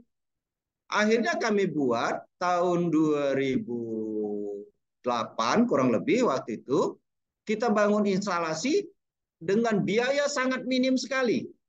Tapi kami bisa menghasilkan instalasi dengan kapasitas 300 liter per detik. Dan itu kita tidak nambah filter. Dengan filter yang ada kita dapat 300 liter per detik. Lantas apa upayanya? Kembali pakai underdrain tadi, Bapak. Ya. Nah, berikutnya Bapak, ini yang saya sampaikan tadi, kita harus punya data existing kita, kualitas air bersih kita apa. Jadi dari segala upaya yang kita lakukan, optimalisasi yang kita lakukan, tahap demi tahap, kita lihat hasilnya Bapak turbidity-nya apakah memenuhi standar, pH-nya memenuhi standar, dari analisa lengkap itu. Kalau memang hasilnya memenuhi standar semua, bahkan lebih baik, berarti langkah-langkah atau upaya-upaya optimalisasi yang kita lakukan itu berhasil. Ya. Inilah Bapak, hasil inilah jadi standar kita. Jadi patokan kita. Ya. Ini. Hasilnya memenuhi syarat semua bahkan di bawah standar. Nah, ini hasil analisa lengkap kami ini. Laporan bulanan kami. Dan ini masing-masing instalasi punya kualitasnya masing-masing, dicek masing-masing Bapak. Ya. Nah, mungkin itu Pak Danang yang dapat kami sampaikan mengingat waktu dan juga masih ada presentasi lagi dari senior kami Pak Erik Sudewo nantinya bisa menyampaikan materi-materi tambahannya. Karena intinya itu bahwa Pak kita jangan takut berinovasi, jangan takut kita memulai segala sesuatu. Yakinlah bahwa permasalahan tetap ada, tapi kita harus tetap berupaya untuk melakukan apa yang terbaik buat perusahaan kita ya. Mungkin itu dulu Pak Danang yang kami sampaikan. Terima kasih. Ya. Baik, Pak Irwani terima kasih banyak. Wah ini kayaknya habis ini Pak Irwani banyak di telepon teman-teman PKM. Enggak ada yang datang. Siap, siap, siap, siap. Baik, kalau yang ada pertanyaan ditahan dulu ya, Bapak Ibu sekalian. Oke, siap, siap, siap. Jadi ada beberapa hal yang eh, kita bisa catat dari presentasi Pak Irwani bahwasanya dalam kalau ingin mengoptimalisasi itu ada beberapa faktor ya, ada beberapa hal yang harus diperhatikan. Dan yang siap, terutama siap. yang penting adalah data ya Pak Irwani ya. Data itu harus ada ya, data dari rekan-rekan operator di lapangan. Benar, Baik Bapak Pak. Ibu, ini kita sedang coba untuk mengupgrade karena di kita sebenarnya ada grupnya ini Pak. Karena setelah mendaftar ada grup WA-nya, ini ada permintaan belum banyak yang bisa masuk, kita coba upgrade ke 1000. Meskipun demikian, nanti teman-teman yang baru bergabung ataupun nanti belum bisa ikut, karena ini kapasitasnya 500, nanti bisa lihat di YouTube-nya Perpamsi, jadi nggak usah khawatir lah ya. Untuk uh, apa webinar pada siang hari ini nanti ada akan diupload di YouTube Perpamsi. Dan untuk daftar hadir nanti nanti kita akan ini ya, nanti akan kita share mungkin nanti di akhir di akhir narasumber yang kedua. Baik, coba sebentar saya tanya ke teman-teman. Kira-kira ini bisa di-upgrade ke 1000? Sudah bisakah? Karena ini kapasitasnya 500 Pak Irwani, Pak Eri. Di grup sudah banyak yang ya, minta ya, ini. Nah, kita tunggu sebentar ya, biar kalau bisa, syukur Alhamdulillah lah. Kalau nggak bisa, ya nanti lihat di YouTube aja lah. Nanti kita upload di YouTube-nya Propamsi, nanti kita share. Untuk materi juga nanti kita share di sini maupun di grup WA. Gimana? Apakah bisa, Mbak Uri? Rekan? Uh, ini sedang kami coba atasi, Pak. Karena kami sudah menambahkan kapasitas, tapi uh, masih belum bisa berfungsi gitu. Jadi mau ditunggu Bapak Ibu. Baiklah, kalau itu kita lanjut dulu ya ke narasumber selanjutnya itu Pak Eris Sudewo. Pak Eris Sudewo ini sedikit saya bacakan latar belakangnya. Beliau ini uh, lulusan dari Universitas Pasundan ya Pak ya. Bagian Teknik Lingkungan tahun 1994 sampai 2001. Kemudian Pak Eri ini juga uh, berpengalaman dalam membuat DED, FS, beberapa instalasi pengolahan air, dan juga sebagai konsultan untuk uh, pembangunan IPA ya, Pak Eri ya, buatan IPA. Betul, betul, betul, Pak. Ya, saya me, apa menganalogikan IPA ini kayak mesin motor gitu, Pak, atau mesin atau mobil gitu ya. Kalau mobil itu kan motor itu misalnya ganti olinya setiap 1000 km gitu kan atau 2000 kalau businya harus diganti dicek dan sebagainya nah ini Pak Eri ini mungkin sebagai perancangnya ya buat di FS IPA mungkin bisa dikasih karena saya awam juga ini Pak dikasih apa pencerahan lah buat kita kita teman ini untuk melihat IPA-nya. Baik, silakan Pak Eri. Kami persilakan. Baik. Baik, terima kasih Pak Dana. Selamat pagi Bapak Ibu semuanya. Assalamualaikum warahmatullahi wabarakatuh. Nah, izinkan saya Pak, wakili dari PT Arita Prima Indonesia untuk sharing Pak, sharing terkait dengan pengalaman-pengalaman kami selama ini dalam melakukan optimalisasi, Pak. Saya izin share screen, Pak. Ya, silakan, Pak. Baik, uh, terima kasih sebelumnya. Sekali lagi, uh, memperkenalkan diri, saya Muhammad Eri Sudewo, tapi mungkin teman-teman manggil saya Eri saja. Eh, saat ini saya bekerja dengan PT Arita Prima Indonesia, Pak. Jadi mungkin teman-teman dari PDM juga sudah familiar dengan produk-produk dari Arita, Pak. Selama ini memang Arita core bisnisnya memang supplier untuk aksesoris dan perpipaan di PDAM, Pak. Tapi sekarang uh, kita juga akan sedikit expand juga. Kita ada divisi tersendiri yang terkait nanti dengan perencanaan-perencanaan IPA, Pak uh, tadi seperti sudah dijelaskan Pak Irwani, optimalisasi atau operating itu seperti apa. Jadi mungkin tadi Pak Irwani mewakili dari sisi owner ya, dari sisi uh, eh, PDAM-nya lah. Nah, saya ini sekarang mencoba juga untuk berbagi dari sisi uh, di luar PDAM atau dari sisi perencana atau dari sisi pelaksanaan seperti itu kira-kira. Jadi tadi sudah disampaikan juga apa itu optimalisasi atau operating. Sebetulnya istilah operating ini masih agak-agak ini ya. Kita umumnya memakai bahasa optimalisasi karena kalau operating itu tujuannya jelas atau milestone-nya jelas ya untuk meningkatkan kapasitas, tapi juga kualitas kita juga harus jaga. Cuman ada juga beberapa IPA, IPA, IPA itu yang desainnya 50 ternyata kalau dijalankan 50 kualitasnya jelek gitu. Jadi jadi secara debit dia berhasil tapi secara kualitas dia tidak berhasil. Nah, itu jadi masuknya adalah sebagai kalau kami menyebutnya itu re-rating, Pak. Jadi mengembalikan ke kondisi desain seperti itu. Re-rating. Eh, iya, jadi ada re-rating, ada up-rating. Nah, kesemuanya itu adalah optimalisasi, Pak. Jadi optimalisasi itu terbagi dua, sebetulnya ada up-rating, ada re-rating, Pak. Jadi mengembalikan kondisi desain, ada juga yang meningkatkan kapasitasnya menjadi uh, lebih dari desain, seperti itu, Pak. Ya, ya. Nah, keuntungannya atau apa namanya, uh, selama ini yang kami kerjakan tentu saja dengan up-rating ini Pertama adalah biaya konstruksinya lebih ekonomis dibanding dengan kita mungkin eh, IPA baru. Terutama sekarang ini terkait dengan lahan, Pak. Karena lahan ini di mana-mana sekarang sudah menjadi isu yang sangat uh, pelik, Pak. Jadi kalau kita bangun IPA, kadang di DED-nya sudah diseleta, eh, sudah diletakkan di sana, ternyata pembebasan lahan tidak tercapai dengan kesepakatan gitu. Sehingga harus berubah.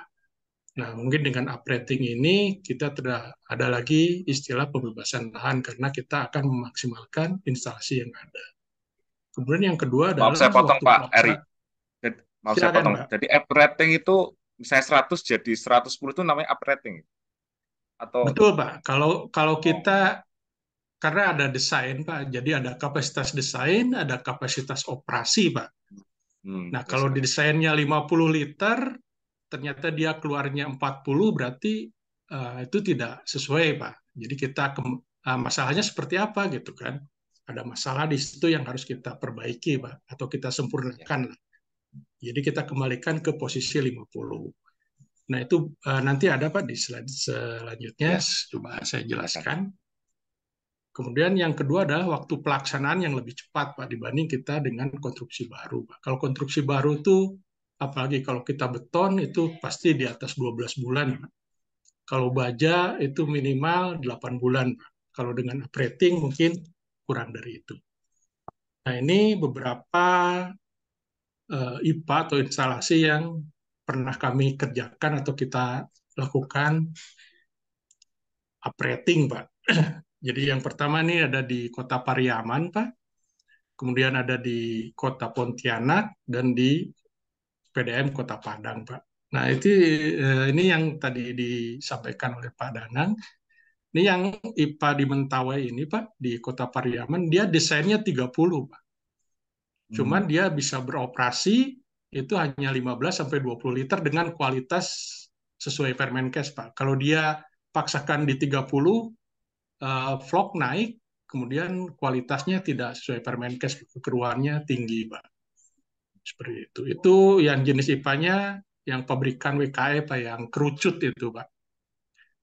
Uh, yang tabung itu seperti itu karena memang uh, IPA tabung ini atau IPA WKE yang silinder ini memang dia polos Pak. Jadi tidak ada uh, disimpan settler di situ Pak. Seperti itu. Kemudian yang selat panjang ini juga sama Pak, desainnya 2 kali 50 atau 100 liter, cuman dia optimal di 80 Pak. Karena airnya kalau yang Pontianak ini ada warnanya Pak. Jadi ada warna sehingga bila dia dioperasikan di 8 di atas 80 eh, dia warnanya tetap tinggi Pak. Seperti itu. Nah, kalau yang di Ulu Gadut ini uh, dulu mungkin uh, air baku bagus Pak.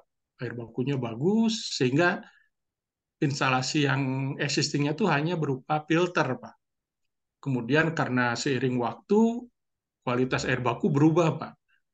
Jadi penggundulan, kemudian di hulunya itu ada uh, banyak kegiatan industri dan kegiatan masyarakat sehingga kualitasnya menjadi menurun, Pak. Tapi yang lebih lebih isu kemarin yang di PDM Padang adalah ketika hujan, Pak. Ketika hujan kekeruannya sangat tinggi sekali, Pak, sampai di atas 200 kekeruannya. Sehingga IPA-nya berhenti, Pak. Kalau hujan tuh IPA-nya tidak beroperasi karena dia tidak bisa menyaring kekeruan yang tinggi. Nah, sehingga dibangunlah uh, unit-unit tambahan untuk bisa mengantisipasi kondisi-kondisi seperti itu, Pak. Nah, kalau yang Pontianak itu pabrikan baja, Pak, produksi dari Mas Wandi. Nah, kalau yang di Padang itu kombinasi antara filter beton existing, kemudian uh, ada IPA bajanya juga, Pak, di depannya di unit sedimentasi. Nah, kita ketika kita sudah lakukan optimalisasi, itu syarat uh, Permenkes terpenuhi, Pak, tetap kekeruannya kita bisa jaga di bawah 3, warnanya di bawah 10, rentang pH juga masih di uh, batas yang normal. Nah ini biaya konstruksinya. Yang kota Priaman ini kita konstruksi di tahun 2019 Pak. Itu biayanya 1,5 miliar. Kemudian yang selat panjang ini kita konstruksi di tahun 2020 itu biayanya sekitar 3 miliar. Nah, yang Ulu Gadut ini dua tahap, Pak. Jadi ada tahap pertama kita membangun flokulator dan koagulatornya dulu, kemudian tahap keduanya baru kita merehabilitasi unit sedimentasi dan filternya. Total biayanya sekitar 3,5 miliar. Ini waktu konstruksinya nah, bisa dilihat juga ini kurang dari enam bulan rata-rata seperti itu. Ini uh, desain yang sudah kami lihat. Ini yang di Lamando ini tipikal dengan yang di Pariaman, Pak. Jadi WKS seperti ini, terucut begini, Pak. Nah, kalau yang IPA WKS mungkin Bapak-Bapak juga yang hadir di sini pasti ada yang punya IPA seperti ini.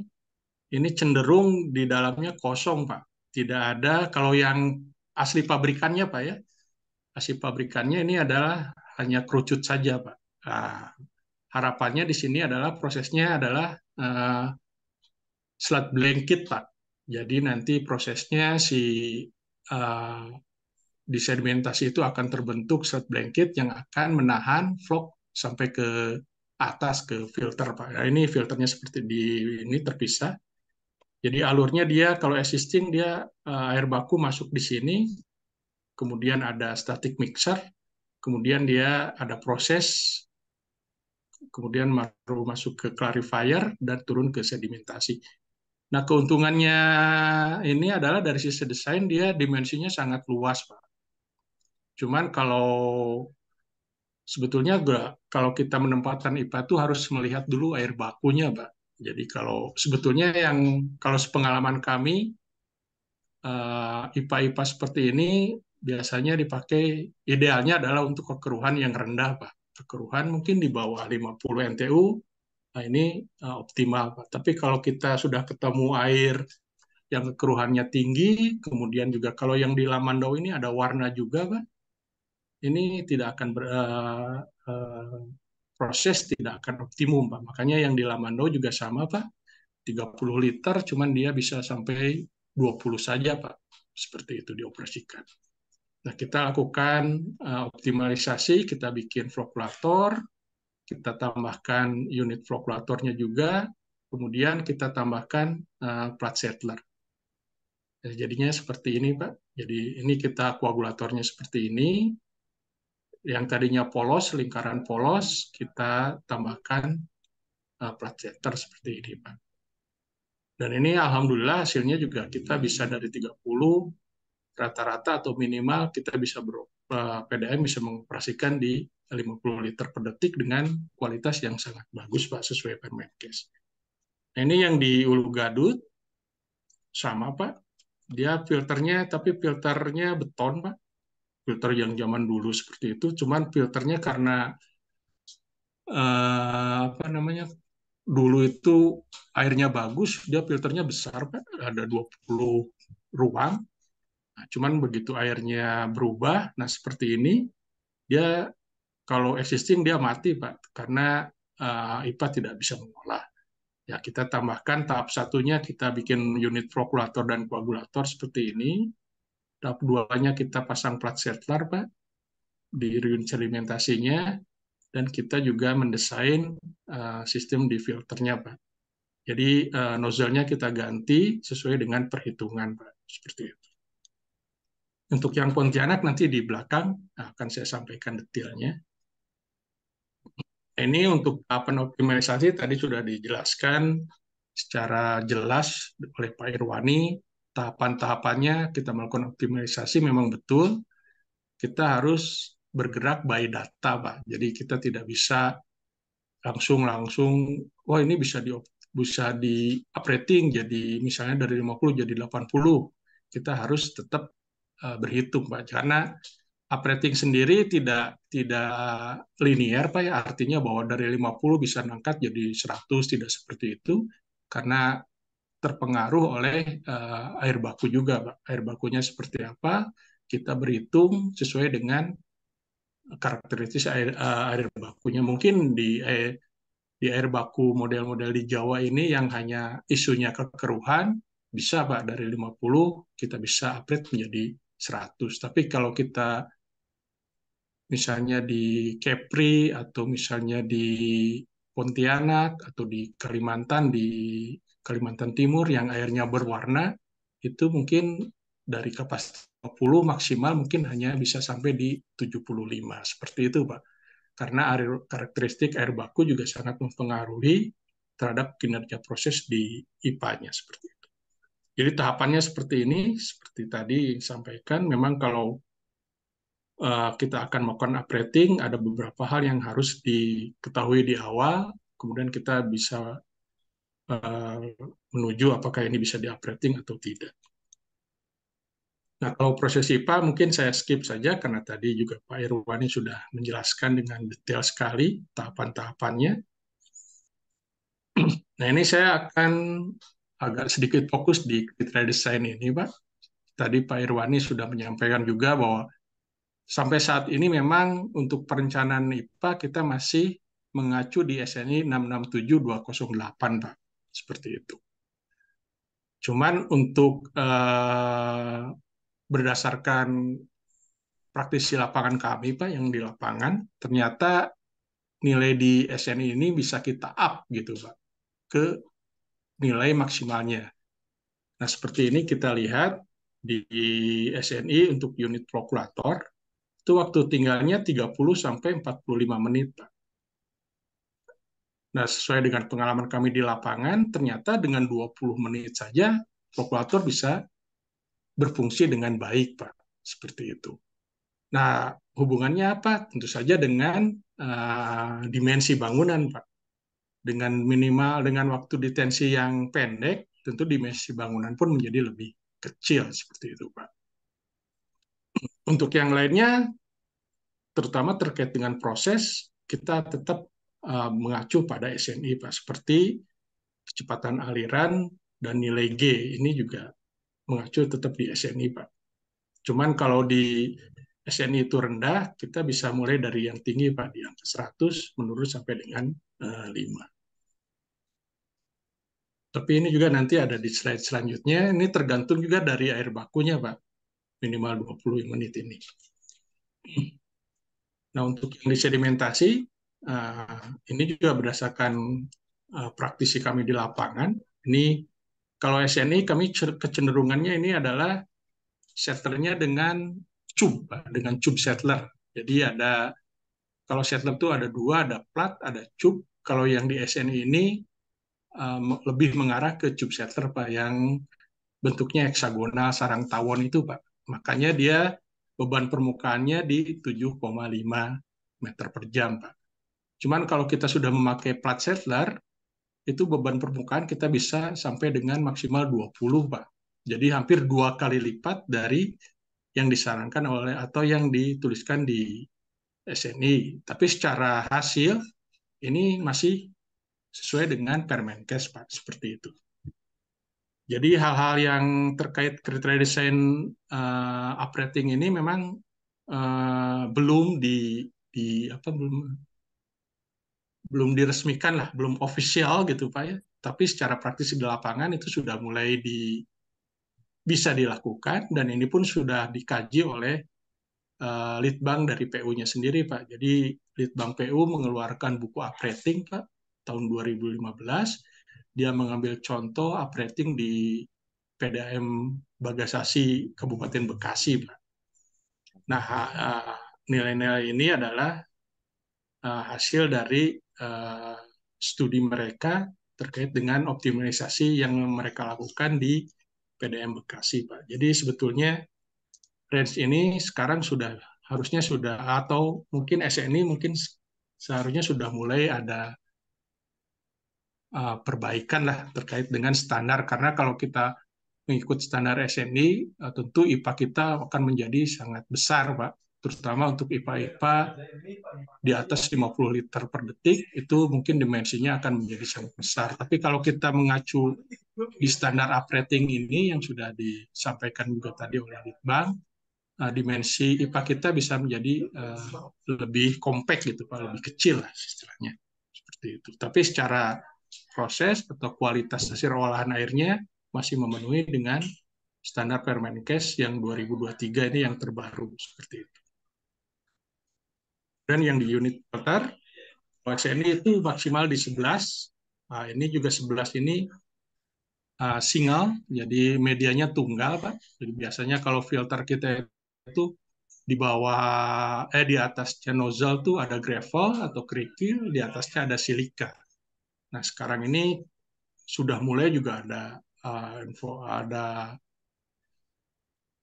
upgrade teknologi lah istilahnya kita pakai dua layer Pak. Jadi di atasnya silika tuh kita ada Eh, media tambahan bisa karbon aktif ataupun bisa antrasit tergantung air baku yang akan kita olah seperti itu Pak. Nah dengan dua layer ini kecepatan penyaringan kita bisa apa sampai dengan 15 atau 20 meter per jam. Artinya bahwa uh, satu uh, filter ini seharusnya mampu untuk sampai dengan uh, kecepatan penyaringan sampai dengan 20 seperti itu. Dengan syarat tadi kalau dia sudah di atas 15 itu harus uh, dua layer media seperti itu. Nah, kemudian di lama pencucian pun kalau kita dengan uprating sebetulnya kalau sudah optimalisasi seperti tadi mungkin uh, apa namanya analogi dari Pak Danang tuh IPA ini seperti motor gitu Pak ya seperti itu memang yeah. Iya. uh, analoginya pas sekali Pak. Jadi kalau kita punya motor 100 eh 1000 125 cc lah. Nah, kita uprating, kita preteli mesinnya, itu mungkin tenaganya bisa naik menjadi sekitar 200 cc. Tapi rodanya tetap dua, kemudian tangki bensinnya tetap sebesar itu, dan tidak ada, cuman kita diingulik di mesinnya saja, mungkin seperti itu Pak Renat. Iya. Analoginya memang sedikit pas. Cuman di sini yang mungkin agak agak sering-sering dilupakan oleh teman-teman, mungkin juga dari perencana. Ini ada satu lagi ruas rasio nozzle terhadap luasan filter ini yang kadang diabaikan. Ini minimalnya 4% di SNI, Pak. Jadi kalau Bapak-Bapak punya filter, kemudian ada nozzle, mohon dicek aja Pak, apakah nozzle-nya sudah sesuai. Karena kalau saya berdasarkan pengalaman kami Pak, itu rata-rata nozzle rasio nozzle-nya itu di bawah 4 persen Pak. Paling tinggi juga mungkin sekitar dua setengah persen. Nah efeknya apa dengan kurangnya atau jumlah nozzle ini tidak sesuai standar, eh, level air menjadi tinggi Pak. Nah, ini juga kadang ada disalahartikan level airnya tinggi, oh ini clogging, filternya mempet. Sebetulnya bukan filternya yang mempet, tapi memang jumlah nozzle-nya yang kurang seperti itu, Pak. Jadi uh, ini juga mungkin harus diperhatikan juga oleh teman-teman di PDAM eh, bahwa rasio luas nozzle dengan luas filter itu harus memenuhi kriteria desain di atas 4%. Seperti itu. Nah, ini acuan kami, Pak.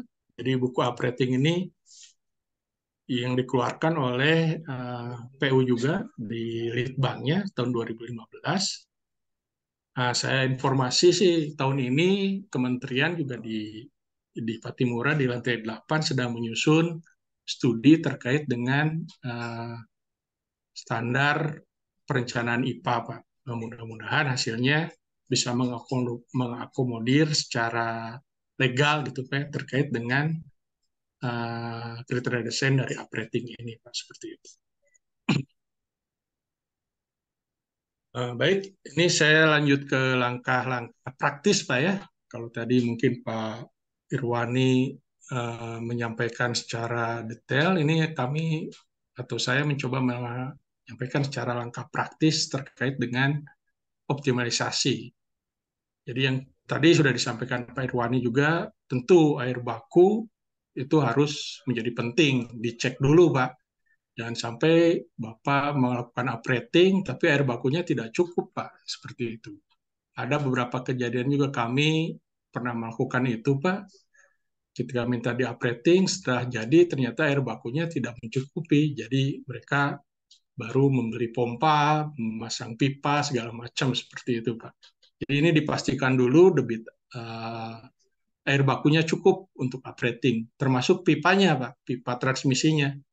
Jangan sampai nanti pipanya sudah posisi operating tapi prasarana air bakunya belum pipanya belum siap pompanya belum siap Nah, jadi ini mungkin bisa di, menjadi bahan pertimbangan sebelum kita melakukan operating. Seperti itu. Yang kedua adalah penanganan bahan kimia. Ini juga menjadi penting terkait dengan rencana operating kita. Apakah pompa dosingnya sudah siap untuk itu atau belum? Kemudian sistem pembubuhannya, jenis koagulannya. Karena kalau kita sudah posisi uprating atau re-rating tadi atau optimalisasi sebetulnya uh, secara dimensi IPA kita tetap. Cuman lajunya menjadi lebih cepat. Lajunya lebih cepat tentu penanganannya juga uh, memerlukan effort yang lebih dibanding dengan yang sebelumnya seperti itu. Makanya ini yang penanganan bahan kimia itu juga perlu dipersiapkan jangan sampai yaitu seperti tadi saya sampaikan IPA-nya sudah siap ternyata pompa dosingnya belum cukup untuk kita sesuai dengan debit uh, operatingnya. Jadi ini bisa lakukan paralel atau juga sebelumnya kita persiapan dulu sebelum kita melakukan operating di IPA-nya. Dan untuk sistem koagulasi ini juga dirancang sesuai dengan karakteristik air, uh, karakteristik air bakunya, Pak. Karena air baku di tiap-tiap uh, kota itu berbeda-beda, Pak. Seperti tadi saya sampaikan, mungkin di Jawa isunya hanya di kekeruhan saja, tapi kalau kita masuk di Kepri, kita masuk di Kalimantan, itu airnya sudah berwarna, Pak. Mungkin juga kita kalau masuk di timur, itu airnya udah air asin, seperti itu, Pak. Sehingga proses koagulasi ini memang harus disesuaikan dengan uh, karakteristik air baku. Ini juga saya juga sedikit informasi atau sharing. Sebetulnya inti atau jantung dari pengolahan IPA ini ada di dua sistem ini, Pak. Koagulasi dan flokulasi. Nah, ini yang banyak diabaikan juga, Pak, oleh oleh banyak teman-teman operator gitu kan. Padahal kalau kita koagulasinya bagus, flokulasinya bagus, sebetulnya sedimentasi dan filter itu hanya menunggu. Istilahnya kalau itu bagus ya ininya lancar gitu. Hmm, proses pengendapannya sempurna, penyaringannya pun sempurna. Malah kadang uh, di beberapa begitu sedimentasinya di bawah 5 NTU uh, untuk kondisi-kondisi tertentu uh, dia bisa bebas langsung ke reservoir karena dia sudah mendapatkan NTU yang bagus di sedimentasi seperti itu. Tapi itu langkah-langkah apa namanya tidak tidak tidak bagus juga lah istilahnya tetap kita harus bisa mengoptimalkan seluruh unit. Jadi sebetulnya kunci dari proses IPA itu ada di dua unit ini, koagulasi dan flokulasi. Nah yang kalau IPA-IPA baja, terutama IPA di bawah 20 liter itu, saya bisa, yang sepengetahuan kami pasti uh, itunya pakai static mixer, pengadukan kimianya seperti ini. Nah, cuman yang mungkin banyak dilupakan oleh perencana, mungkin juga PDAM ini kecenderungannya adalah given Pak ya, dibangunkan kemudian diserah terimakan kan Oke, ya. dioperasikan. Nah, static Ya mixernya ini biasanya enggak gitu ya, enggak Pak Eri. ah, ah, Biasanya kan betul. dibangunkan oleh Kementerian PU terus diserah terimakan. Dan mungkin mungkin ada masukan dari Pak Eri. Apa sih yang harus diperhatikan ketika Iya, Pak. selain apa teknisnya ya? Iya. Silahkan Pak Eri. Jadi yang pertama mungkin yang di static mixer ini adalah inti Pak. Inti dari proses pengolahan itu sebetulnya ada di sistem pengadukan ini. Kalau pengadukannya itu sempurna, itu vlog pasti terbentuk dengan uh, sempurna seperti kita melakukan jar test Pak ya. Kalau di jar test tuh uh, wah ini vlognya jadi dengan dosis segini, tapi bagaimana kok pas di IPA nggak jadi gitu. Nah karena kalau di jar test itu kan sempurna ngaduknya tuh udah udah kita bisa setting. Nah kalau di lapangan kadang static mixernya tuh tidak tidak sesuai dengan uh, kriteria desain Pak. Nah yang yang ideal kan bilah-bilah seperti ini tuh betul-betul memang dihitung Pak. Bilahnya tuh dihitung, bukaan antar bilah pun dihitung. Makanya kalau static mixer ini uh, sebetulnya ada pabrikan yang membuat khusus untuk ini Pak. Nah yang di lapangan kadang pelaksana itu hanya membuat membuat pipa, dibolongin, dikasih sekat-sekat plat tanpa dihitung gitu Pak. Nah itu yang menyebabkan proses koagulasinya tidak optimal atau tidak sempurna sehingga plok tidak terbentuk dan akibatnya biasanya dia di sedimentasinya naik. Nah ini sistem static mixernya mungkin harus dikaji ulang seperti itu. Nah kecenderungannya static mixernya dipakai untuk NTO dengan kekeruan rendah Pak. Cuman uh, kekurangannya ini sulit dalam perawatan karena tidak ada ini otomatis seiring waktu berjalan itu sampah-sampah pasti masuk di sini. Nah ini tidak ada manhole atau untuk bisa membersihkan. Kalaupun dibersihkan IPA-nya pasti mati Pak karena air masuk dari sini gitu. Jadi ini perawatannya susah seperti ini Pak. Seperti itu. Nah kemudian spesifikasi pompa dosingnya menjadi tinggi, terutama headnya. Ini juga mungkin yang jarang dihitung oleh bapak-bapak di PDAM. Jadi kadang kita harus menghitung Pak, karena di sini ada head pompa intake ketemu dengan head dari pompa dosing. Nah kalau misalnya hitungan head pompa intake-nya lebih besar, tentu saja ini si koagulan kita ini akan tertahan, Mbak. Tidak bisa masuk ataupun mas, kalaupun masuk tidak optimal. Misalnya kita dari hasil jar test harus diinjekkan 50 liter per jam gitu. Tapi karena tekanan dari pompa intake lebih besar dari daripada pompa dosingnya, mungkin yang masuk tidak 50 liter tapi hanya 45. Tentu saja secara proses menjadi gagal seperti itu. Ini juga perlu diperhatikan juga kalau mungkin bapak-bapak yang masih punya static mixer dihitungkan kembali, kemudian dicek juga ini headnya apakah head pompa dosingnya betul-betul sudah sesuai untuk keperluan proses. Jadi kalau mungkin pompa intake Bapak headnya 30, nah tentu pompa dosing ini harus lebih besar dari 30 headnya, Pak. Mungkin secara sederhananya seperti itu. Agar dia bisa penetrasi, koagulannya bisa penetrasi secara sempurna di unit static mixer ini. Dan static mixer ini itulah karena tidak ini Pak, tidak dihitung dengan betul. Ini sebetulnya ukuran panjang ini mempengaruhi Pak. Jadi panjangnya tuh ada hitungannya, diameternya ada hitungannya, jumlah blade ini pun ada hitungannya agar si proses itu bisa maksimal. Nah, kadang kalau yang dipasang di IPA-IPA baja 20 liter ini panjangnya tidak lebih dari satu meter. Seperti itu. Itu kalau dihitung secara proses itu tidak Uh, masuk di prosesnya karena tadi disampaikan ada waktu waktu detensi Pak ada TD 1 sampai 4 detik Pak di sini. Nah, apakah itu sudah sesuai atau belum? Mungkin ini yang mungkin Bapak Bapak perlu evaluasi lagi terkait dengan pemakaian static mixer ini. Kemudian sistem yang kedua untuk koagulasi ini kami menyebutnya sistem terjunan wear koagulator. Nah, ini air baku di dia turun secara gravitasi ini ada semacam terjunan gitu, Pak. Nah, baru diteteskan uh, kimianya di sini, Pak. Ini lebih sempurna uh, pengadukannya karena seluruh bagian air ini akan terkena bahan kimia. Seperti itu. Nah, ini biasanya untuk air baku dengan NTO tinggi, mungkin di atas 300. Kami pernah ini yang di foto ini adalah yang di Cilacap, Pak. Itu NTU hariannya itu di angka 500 NTU, Pak. Jadi airnya memang betul-betul butak seperti ini, Pak.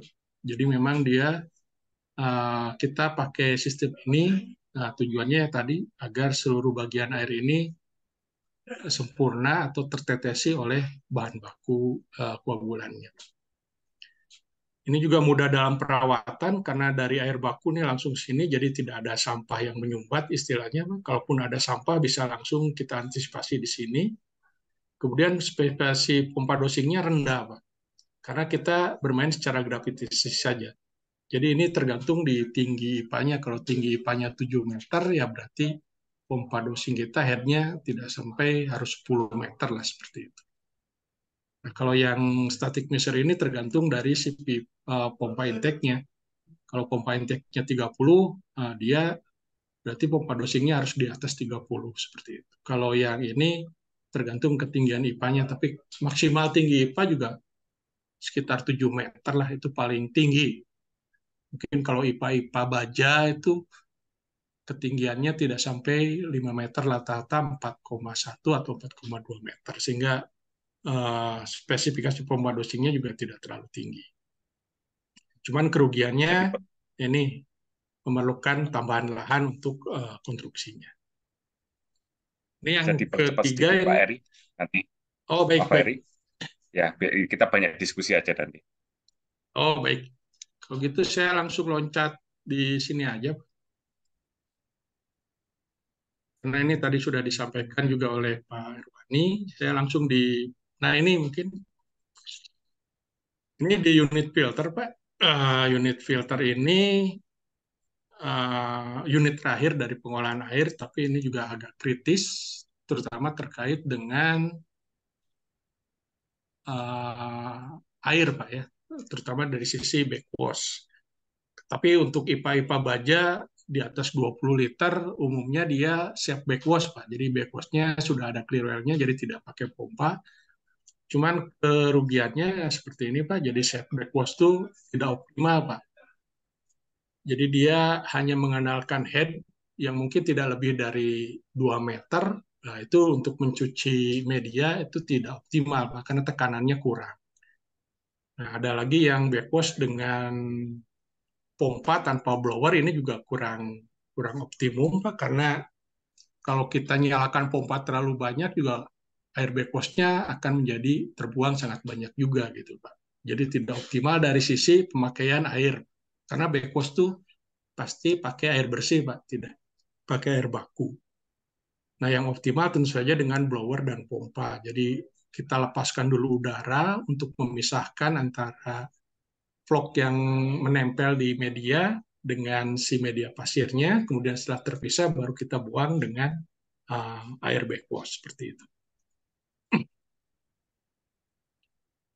Nah, kalau yang tadi disampaikan sistem underdrain Pak Wani tadi, nah ini sebetulnya ada dua Pak, ada single lateral dan ada dual lateral. Nah, yang single ini yang umumnya di, sekarang ada di instalasi-instalasi Bapak dan Ibu semua mungkin.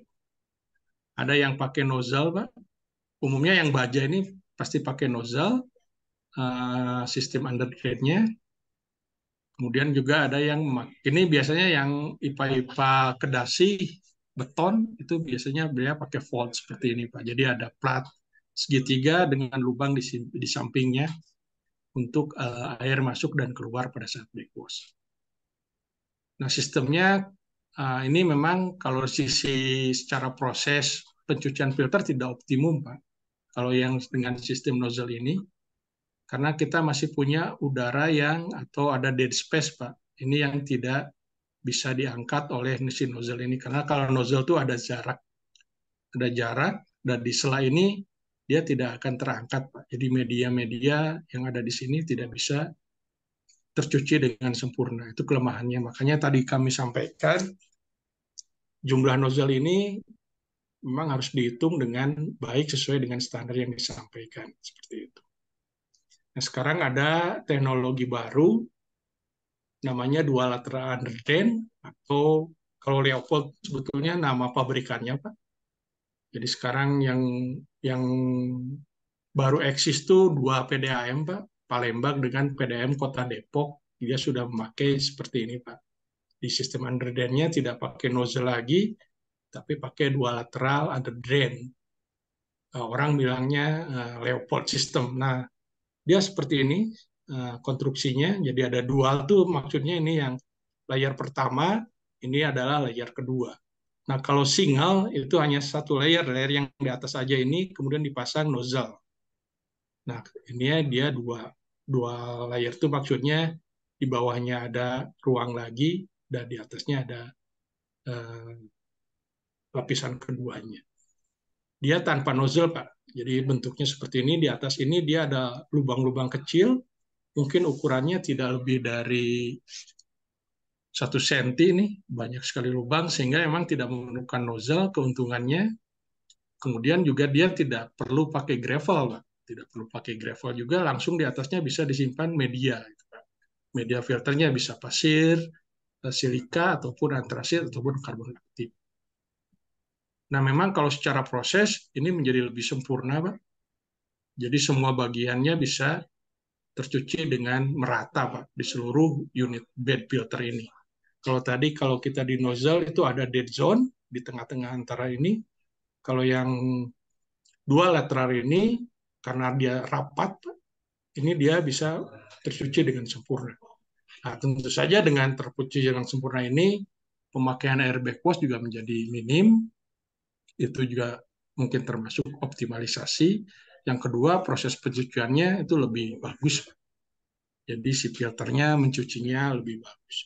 Nah, berdasarkan informasi, kalau kita sudah pakai Leopold ini, itu waktu pencucian filter itu bisa lebih dari 48 jam atau dua hari, Pak. baru dia dicuci kembali. Kalau pakai sistem yang single line itu umumnya maksimal di 36 jam dia harus backwash, Pak. Tapi kalau pakai uh, dua lateral ini minimal dia 48 jam, baru dia backwash seperti itu. Cuman ya tadi uh, karena ini teknologi baru, uh, harganya masih cukup uh, mahal, Pak. Informasi yang kami dapat sih kemarin satu meter perseginya itu biaya investasinya 35 juta, Pak. Jadi tinggal dikalikan saja dengan luasan filter Bapak. Misalnya luas filter Bapak tuh satu kompartemennya dua kali tiga, ya dikalikan eh, uh, 35 juta dikalikan jumlah filternya itu yang harus disiapkan untuk pemasangan seperti ini. Seperti itu mungkin untuk yang informasi terkait dengan dual lateral underdrain ini. Nah ini juga mungkin akan cocok bila dipakai di IPA-IPA di atas 50 liter, Pak. Dengan kapasitas besar mungkin cocok dengan memakai ini, karena tadi juga disampaikan Pak Irwani, dari segi investasi mungkin mahal, tapi secara kualitas ini sangat-sangat membantu sekali seperti itu. Makanya ini mungkin lebih cocok di IPA-IPA dengan kapasitas di atas 50 liter, Pak. Kalau di atas di IPA 20 kita pakai ini mungkin nanti biaya investasinya eh, BEP-nya menjadi lama gitu Pak seperti itu. Nah, ini mungkin uh, informasi singkat saja terkait apa yang sudah kami lakukan Nah, ini adalah contoh desain existing di IPA Selat Panjang Pontianak nih kapasitas 2 kali 50 liter per detik. Mungkin Bapak-bapak di sini familiar juga dengan produk Mas Wandi. Uh, dia ada uh, bak penenangnya di sini, kemudian uh, dia existingnya disuntikan di pipa apa static mixer untuk bahan kimianya masuk ke penenang, kemudian di flokulator ada 6, masuk di sedimentasi dengan tube settler, masuk ke filter. Nah, umumnya pipa baja itu punya clear well, Pak. Untuk proses backwash. Jadi biar backwash-nya tidak pakai pompa, dia ada clear well di sini, Pak. Seperti itu. Namun pada saat existing kemarin itu dia maksimal dua IPA ini itu di 80 Pak. 80 itu pun vlognya masih naik Pak. Makanya kita coba rehabilitasi dengan cara kita uh, optimalisasi. Nah, desainnya menjadi seperti ini Pak. Jadi setelah kita rating, kita pembenahan di unit koagulatornya, karena airnya warna Pak, ada warnanya lumayan tinggi juga, rata-rata di 100 PTCO uh, hariannya. Jadi kita perlu unit koagulasi yang spesifik. Jadi kita pasang uh, plasmik Pak namanya. Yang tadi bentuknya tabung. Kemudian unit flokulatornya yang enam ini kita tetap pertahankan, kita membuat satu lagi Pak, satu unit flokulator tambahan atau kami menyebutnya flokulator nomor 7 Pak. Ini untuk mendapatkan waktu detensi yang cukup Pak. Karena untuk air warna berdasarkan pengalaman kami di lapangan itu minimum waktu detensi di prokurator itu uh, harusnya 30 menit Pak. Sehingga kita memerlukan tambahan uh, ruang prokurator. Nah, dari mana? Karena kita tidak berubah desain, kita mengambil bagian dari sedimentasi ini, Pak. Jadi sedimentasinya yang tadinya 6 meter, kita uh, kurangi menjadi sekitar 4,8 meter, sisanya ini kita sebagai ruang flokulator. Sehingga waktu detensi di unit flokulatornya ini meningkat, Pak. Dari tadinya kalau kita running di satu kompartemen ini, uh, kalau kita 80 liter, waktu detensinya sekitar 15, kita tambahkan flok nomor 7 ini, waktu detensinya naik hampir sampai 30 menit, Pak. Kemudian sedimentasinya kita ganti yang tadinya tube shelter, kita pasang plat shelter dengan panjang 2,4. Jadi ada 4 row, 4 row atau 4 baris plat shelter di sini.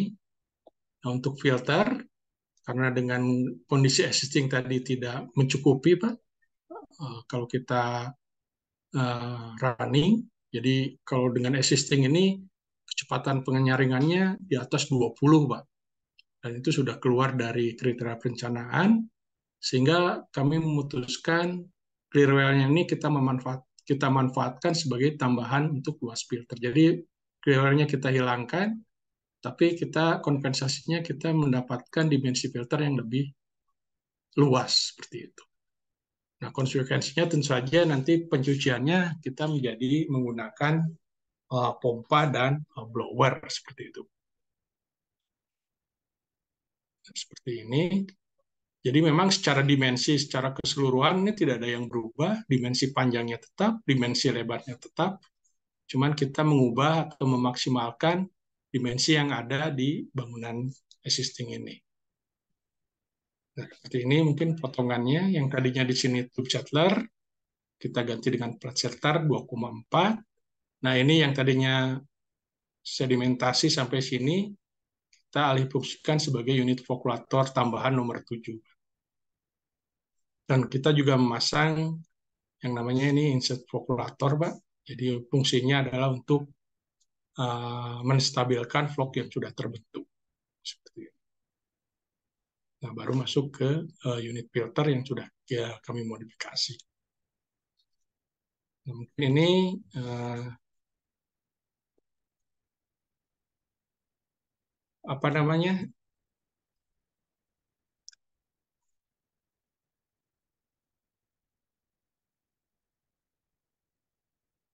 hasilnya Pak yang di Pontianak.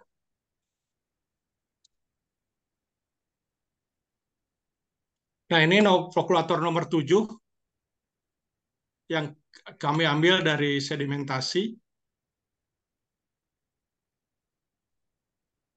Nah, ini hasil air di sedimentasi sudah terlihat, Pak. Sudah lebih bagus atau jernih dibanding dengan air masuk di flokulator.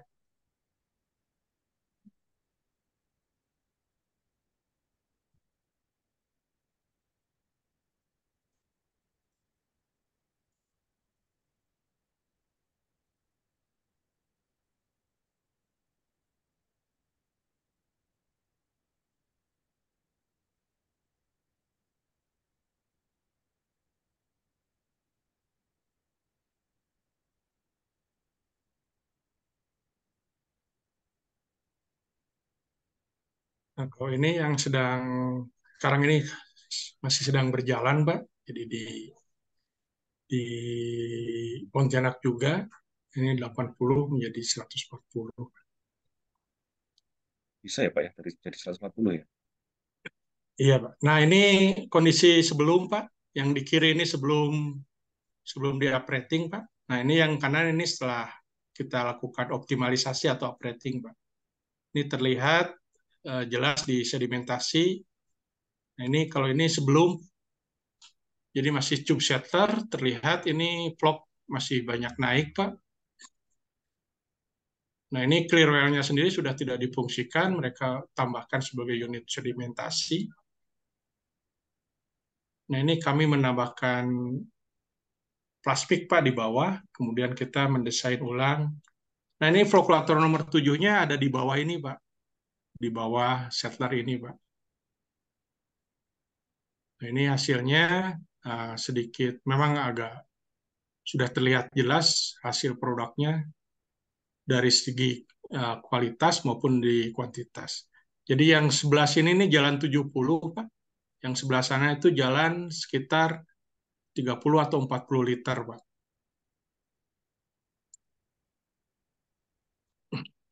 Ini sekarang masih tahap konstruksi, Pak, karena kita baru selesai yang sebelah kiri, Pak.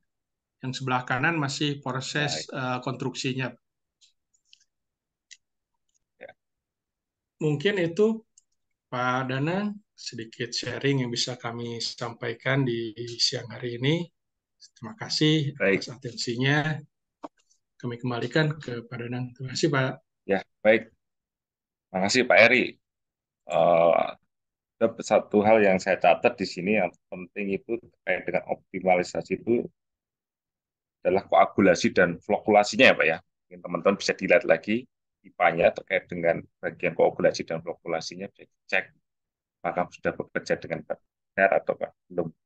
Baik, kita masih ada waktu untuk diskusi selama 30 menit ke depan. Silakan Bapak Ibu yang mau bertanya langsung maupun di kolom chat. Beberapa sudah saya lihat sudah ada pertanyaan di kolom chat.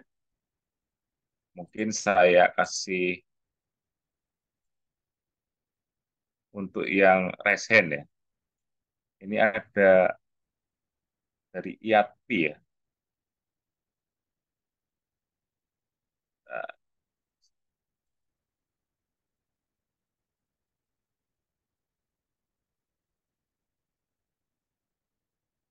Silakan dari IATPI.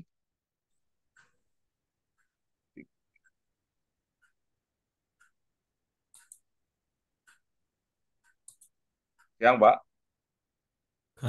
Halo? Ya, silakan, silakan, Mbak.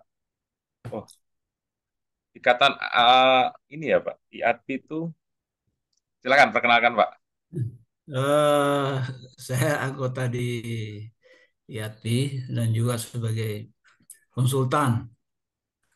Hmm. Jadi uh, selamat siang semua, selamat siang Pak Danang. Ya. Yeah. Pak Irwani yang pertama mungkin sudah mempresentasikan, yang kedua tadi Pak Eri. Yeah.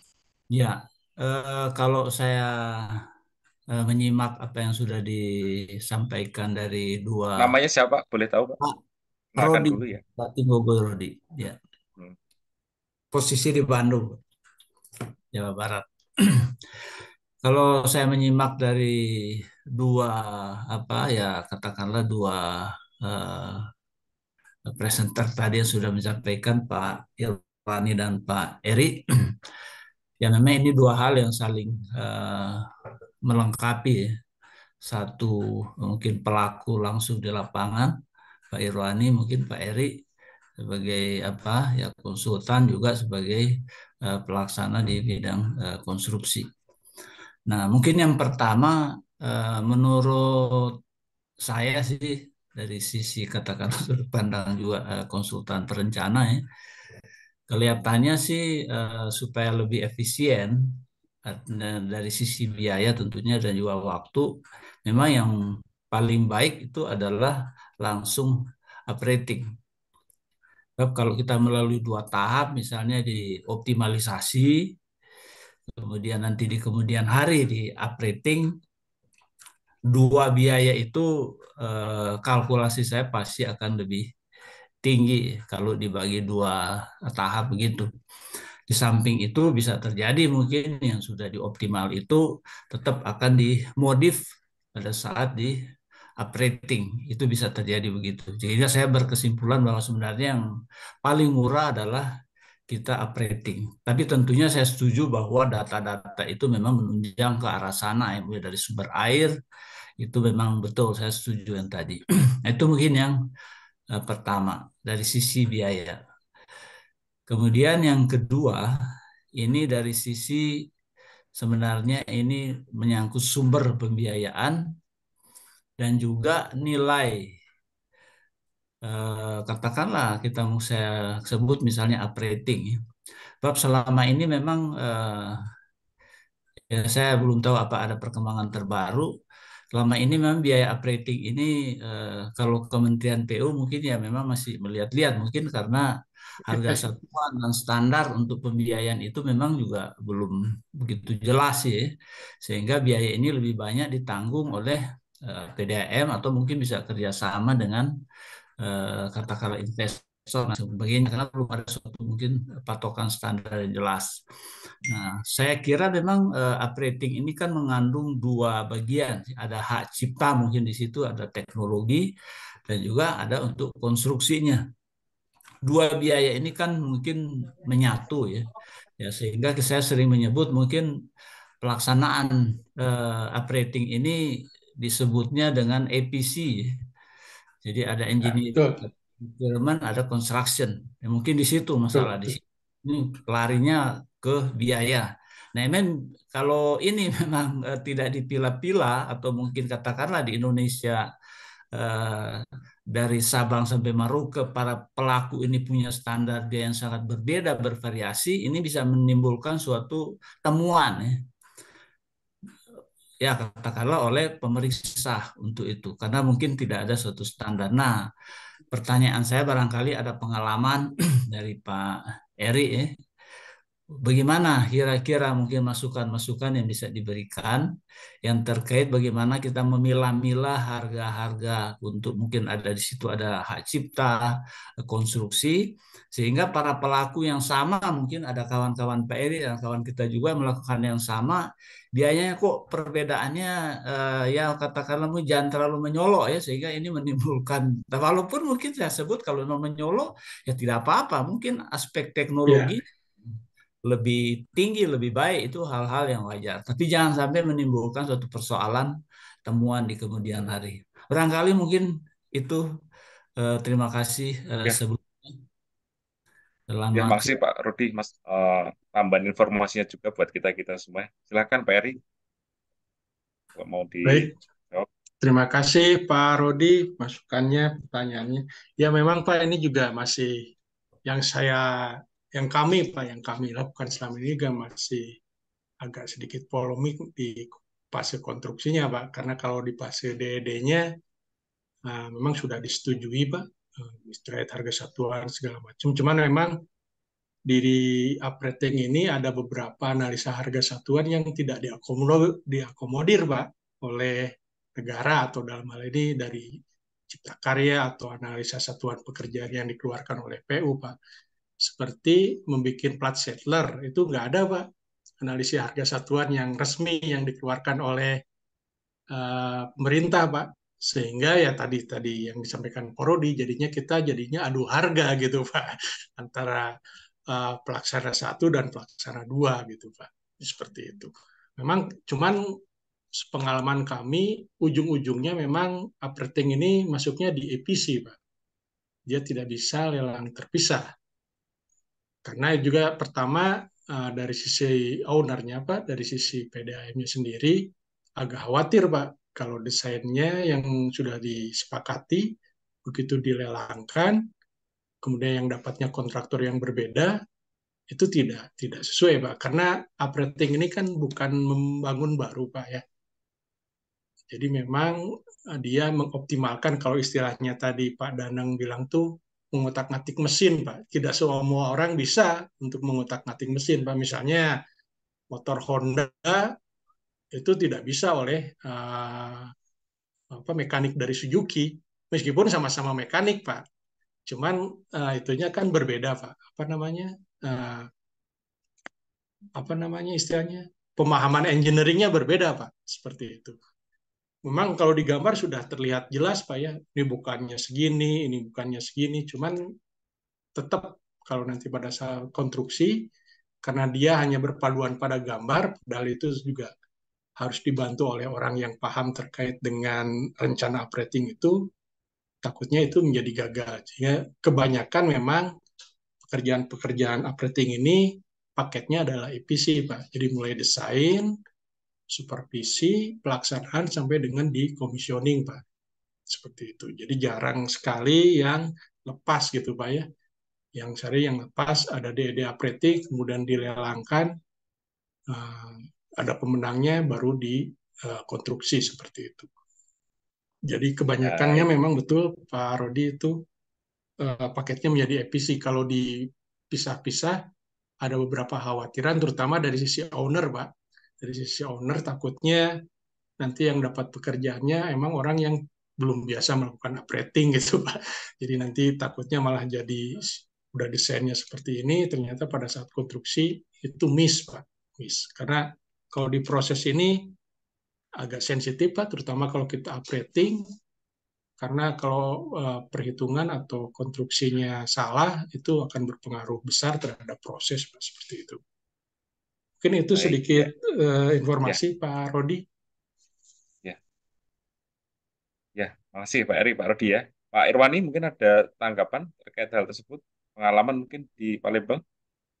Oke Pak ya, kita ini di Palembang memang dalam bulan-bulan terakhir kemarin ada instalasi yang memang baru bangun. Kita kembali ke materi tadi ya. Kita ada instalasi yang namanya kalau kami di Palembang itu menyatakan re-rating itu itu pengembalian ke kondisi awal, Pak. Itu. Jadi kita punya instalasi poligon Dulu kapasitasnya itu 30 liter per detik. Nah, ini karena tidak efektif lagi, tidak optimal lagi, kerjanya tidak pas, akhirnya kita re-rating. Nah, ini re-rating. Jadi re-rating itu pengembalian ke kondisi awalnya. Kita pasang filter sesuai dengan kondisi awal, pasir kita kembalikan kondisi awal, kan yang memang pengolahannya itu kembali ke proses desain awalnya. Itu re-rating.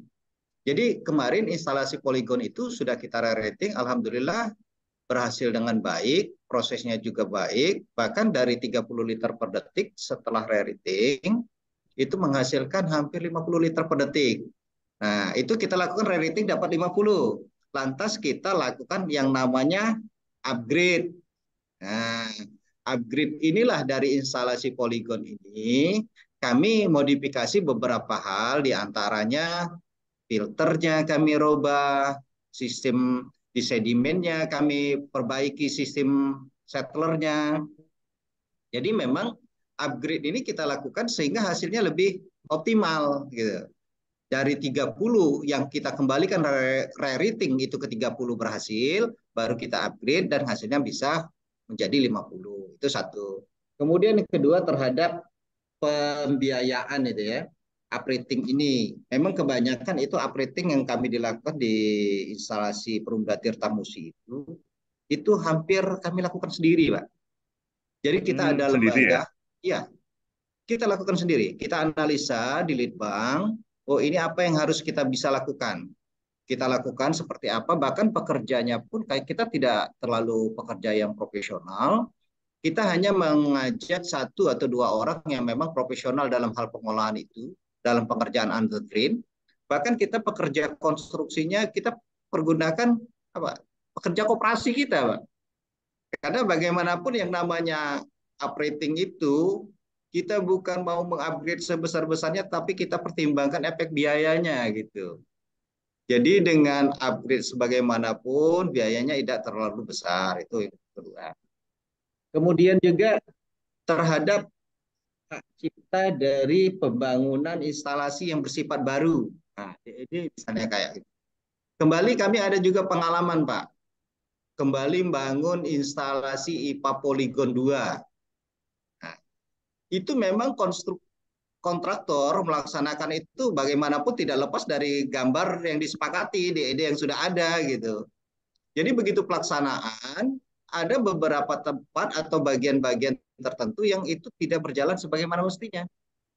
Nah, ini kita sulitnya di situ. Karena ini sistem DED, bagaimanapun kita harus terima dulu ini pekerjaan. Terima pekerjaan sampai batas waktu ketentuan yang disepakati. Setelah mereka mempercayakan ke kita, akhirnya baru kita upgrade. Karena ini karena barang baru. Barang baru mereka punya hak cipta tersendiri, mereka punya modifikasi di sana, kita belum serah terima persis ke kita, atau belum ada berita acara pertanggungjawaban mereka selama satu tahun peralatan atau bangunan itu ada, kan kita nggak boleh modif-modif Pak, kayak gitu. Jadi kita percayakan dulu kepada mereka, tapi kita tetap penerimaan atau PHU itu kita buat catatan. Kita buat catatan. Misalnya, sesuai perencanaan itu turbidity-nya dihasilkan di bawah dua. Ternyata itu nggak mencapai dua. Ada beberapa tempat yang kurang pas, misalnya bukaan sedimen yang relatif kecil. Kanalnya mungkin yang namanya perhitungan DED kan kita acap kali sebanyak lembar itu ada satu dua yang keliru ataupun lepas kontrol. Nah, tapi ini kalau mau kita perbaiki secara langsung karena ini belum ada berita acara serah terima atau penerimaan barang, kita belum bisa itu merubah atau mengupgrade itu kita nggak bisa.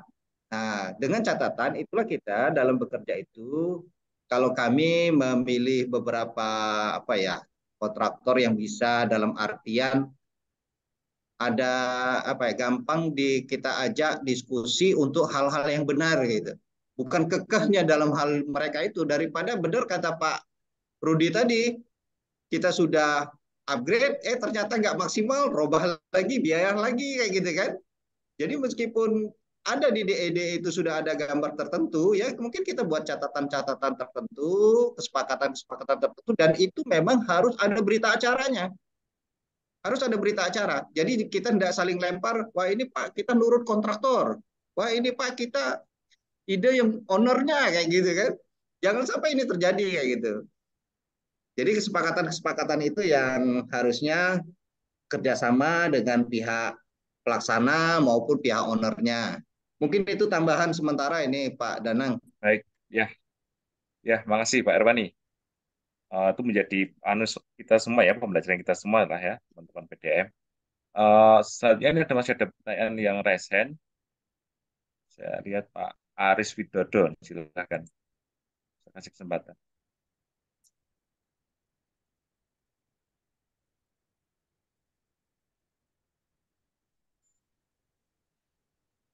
Ya Pak, silakan kenalkan dari mana?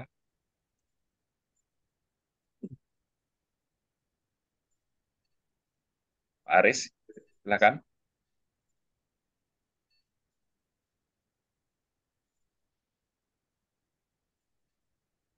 Delay mungkin Pak. Halo Pak Aris, suaranya belum.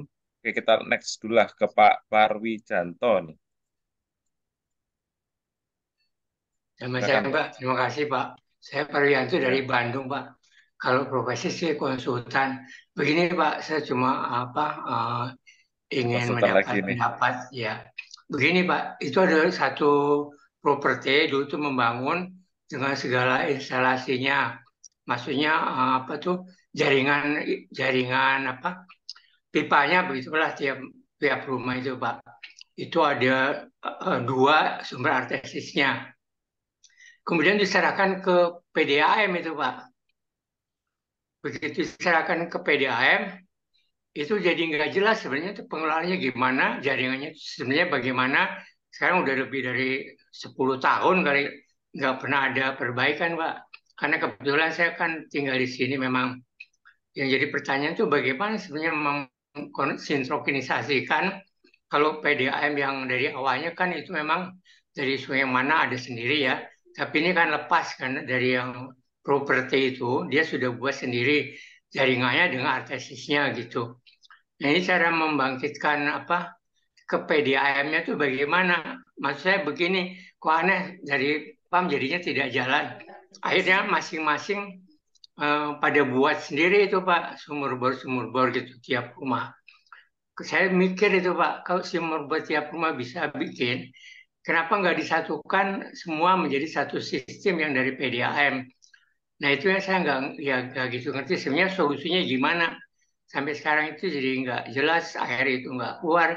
Kadang-kadang dulu pernah sebelum di apa diserah terimakan itu lancar. Memang ada kendalanya begini, itu kan lebih banyak penghuninya sekarang, lebih banyak penghuninya. Cuma yang jadi pertanyaan itu kok nggak pernah apa memang tidak ada pemetaan dari suatu dinas PDAM atau bagaimana gitu Pak. Karena sampai sekarang udah puluhan, belasan tahun juga tidak ada solusinya gitu. Yang menurut saya itu ada aneh gitu. Akhirnya kok setiap orang Baik. ini ya. bisa, tapi di PDAM-nya nggak bisa. Itu aja Pak, maaf ini. Kalau di luar konteks. Ya Pak ya. Coba kita cari yang lain dulu ya. ya dengan pertanyaan terkait tema kita. Ini ada dari mana lagi? Ini dari kolom chat. Coba kita lihat.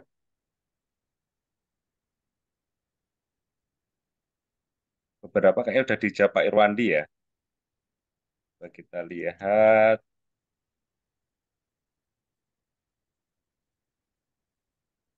Baik. Blog yang mengundang Kalau kita balik lagi ke res Mas Sakti nih coba. Silakan Mas Sakti. Ya, terima kasih Pak Danang kesempatannya. Ya, salam kenal untuk Pak Irwani sama Pak Eri. Terima kasih buat ilmunya Pak. Ini bermanfaat sekali Pak. Yang sudah disampaikan tadi Pak. Cuman ini uh, untuk Pak Irwani ini Pak ada ada yang ingin saya tanyakan Pak terkait evaluasi Pak yang yang tadi Bapak sarankan ya, yang harus kita lakukan di PDAM kita Pak masing-masing. Ini Pak untuk cara le, ini lebih ke teknisnya ya Pak ya. Ini tadi itu kan masalah untuk gradien kecepatan itu Pak sama waktu detensi Pak. Nah, eh, saya itu dulu waktu itu pernah Pak untuk mengikuti eh, pelatihan juga. Waktu itu masalah troubleshooting IPA untuk masalah uh, evaluasi uh, eh, WTP, Pak. Nah, di situ juga dipaparkan cara menghitung gradien kecepatan dan juga waktu detensi, Pak. Nah, di situ Pak dijelaskan untuk masalah penghitungan gradien kecepatan itu kita uh, bisa mengacu kepada uh, tinggi muka airnya, Pak. Tinggi muka air di bak flokkulasi kita. Nah itu. Sedangkan waktu itu Pak, saya juga pernah dapat uh, referensi dari teman saya yang pernah uh, eh, OJT Pak, kalau nggak salah yang di waktu itu ke Tirta Musi Pak, ke PDM Bapak, untuk cara menghitung gradien kecepatan ini Pak. Nah, sedangkan yang dia, yang saya dapatkan dari beliau waktu beliau OJT di PDM Tirta Musi itu dia menghitung untuk gradien kecepatannya sendiri uh, berdasarkan ini Pak, berdasarkan uh, bukan pintu air Pak, bukan pintu airnya. Nah, jadi maksud saya gini Pak, saya juga udah coba-coba buat uh, mengevaluasi di WTP saya Pak di sini. Tapi ternyata hasilnya saya coba pakai yang dari berdasarkan tinggi muka air itu dan juga berdasarkan dari yang bukan pintu air Pak. Tapi hasilnya juga uh, agak berbeda nih hasilnya. Gitu. Karena memang di saya ini kan sedikit uh, sedang mengevaluasi nih Pak debit yang harus kita olah itu sebetulnya harusnya seberapa banyak gitu debit yang kita olah di WTP kita. Itu Pak. Jadi saya pengen uh, mantu dijelaskan Pak untuk penghitungan gradien sendiri itu bagusnya baiknya itu berdasarkan tinggi muka air atau memang berdasarkan uh, bukan pintu air Pak yang uh, saya dapat dari rekan ya. saya yang di sana Pak. Ya, terima kasih. Ketangkap Mas. Silakan Pak Irwani mungkin.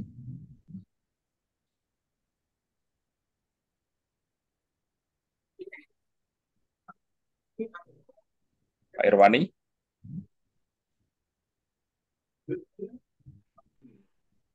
Mana nih Pak Irwani? Mungkin saya bantu saja mungkin Pak Danang. Boleh, Kalau boleh, boleh Pak. Ya, ya, silakan. Baik, eh, terima kasih uh, Pak Sakti untuk sharingnya. Uh, sepemahaman yang kami lakukan uh, gradien kecepatan itu dibukaan Pak. Jadi Bapak menghitung di bukaan, bukan menghitung di di tinggi. Kalau di tinggi itu kan head loss Pak ya. Nanti hasil dari bukaan itu dapatnya lah tinggi air di situ. Jadi itu kalau Bapak ngitung di di tinggi air, Bapak ngitungnya ke belakang Pak.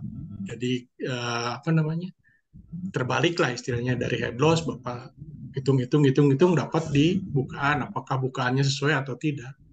Tapi yang ya, yang yang ideal sih kita menghitung di bukaan dulu, Pak. Kita hitung di bukaan, di situ dapat kecepatan aliran. Nah, dari kecepatan itu kita dapat head loss, Pak. Dari head loss itu kita dapat nilai GTD-nya, Pak. Biasanya seperti itu. Cuman kalau memang di lapangan, hitungan teori dengan di lapangan kadang agak berbeda, Pak. Karena berbeda bagaimana? Karena kalau kita berhitung teori, itu dimensinya pas, Pak. Tapi kalau di lapangan kadang kita di 0, misalnya flokulatornya lebarnya asumsi kita dihitungannya satu meter, ternyata di lapangan hanya 0,8 gitu Pak ya, tidak persis satu meter. Nah, makanya itu ada istilahnya uh, apa namanya? Ada deviasi lah antara uh, lapangan dan perhitungan teori kita. Tapi seharusnya itu tidak terlalu tidak terlalu jauh, Pak. Tapi biasanya kalau kami menghitung di bukaan dulu, Pak. Itu head loss-nya itu adalah hasil akhir, Pak, seperti itu. Mungkin itu Pak boleh. Danang, Pak Sakti. Pak Eri boleh dibantu lagi Pak sedikit Pak. Apa tuh Pak?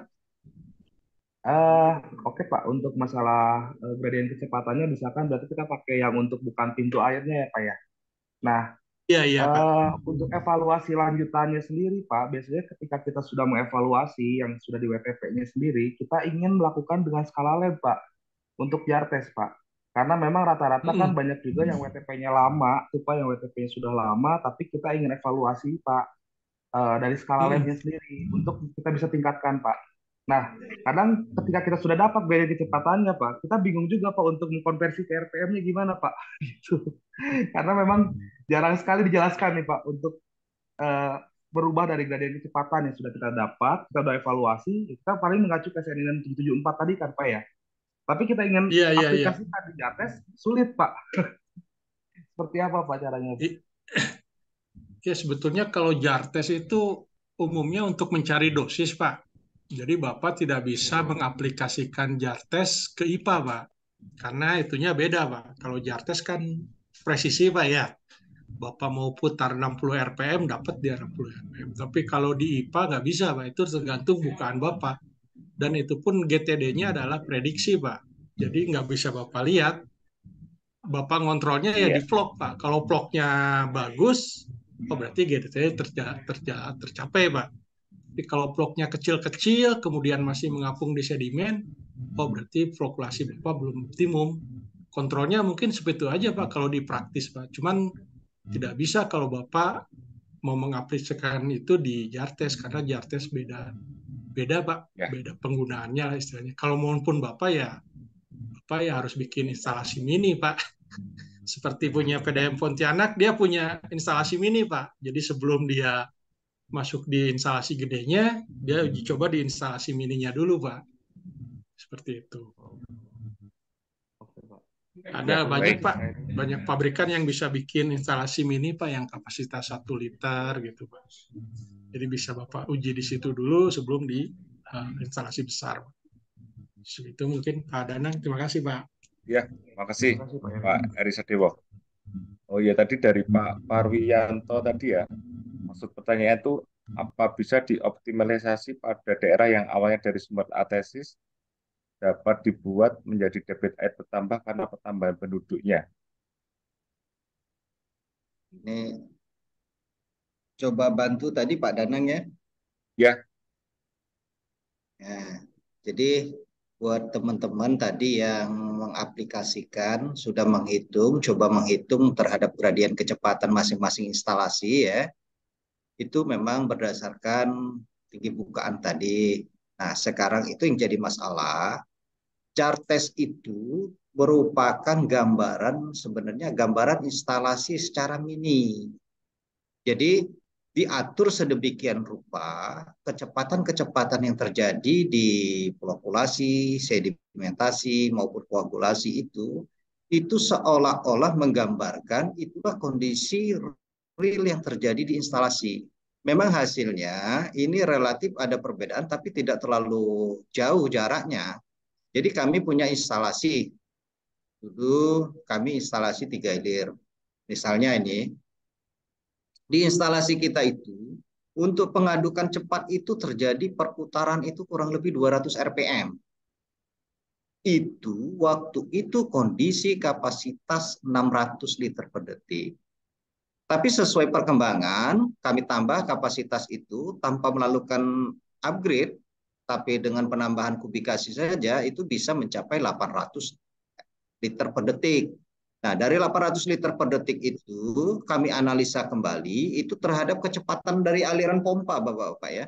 Jadi aliran pompa kita itu misalnya kapasitas pompa kita berapa, itu kita dapatkan ketinggian nanti di permukaan baik itu maupun keluaran di kaskade bapak-bapak yang berbentuk segitiga maupun yang segi empat gitu ya.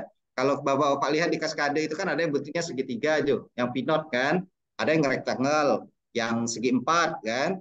Nah di situ ukur ketinggiannya, nanti dapat kecepatannya itu bisa dapat dari rumus persamaan baik itu hidrolik maupun mekanik ya dengan ketinggian gradien kecepatan maupun kecepatan dari volume dari air yang mengalir itu sendiri. Nah, dari kecepatan ini, mengapa jar test ini sangat penting? Memang jar test ini blit ataupun pengaduk yang dipakai itu kan sudah ada pabrikan ukuran tersendiri. Mau lebar berapa senti kanan kiri ya kan? Ketebalannya berapa kecepatannya berapa?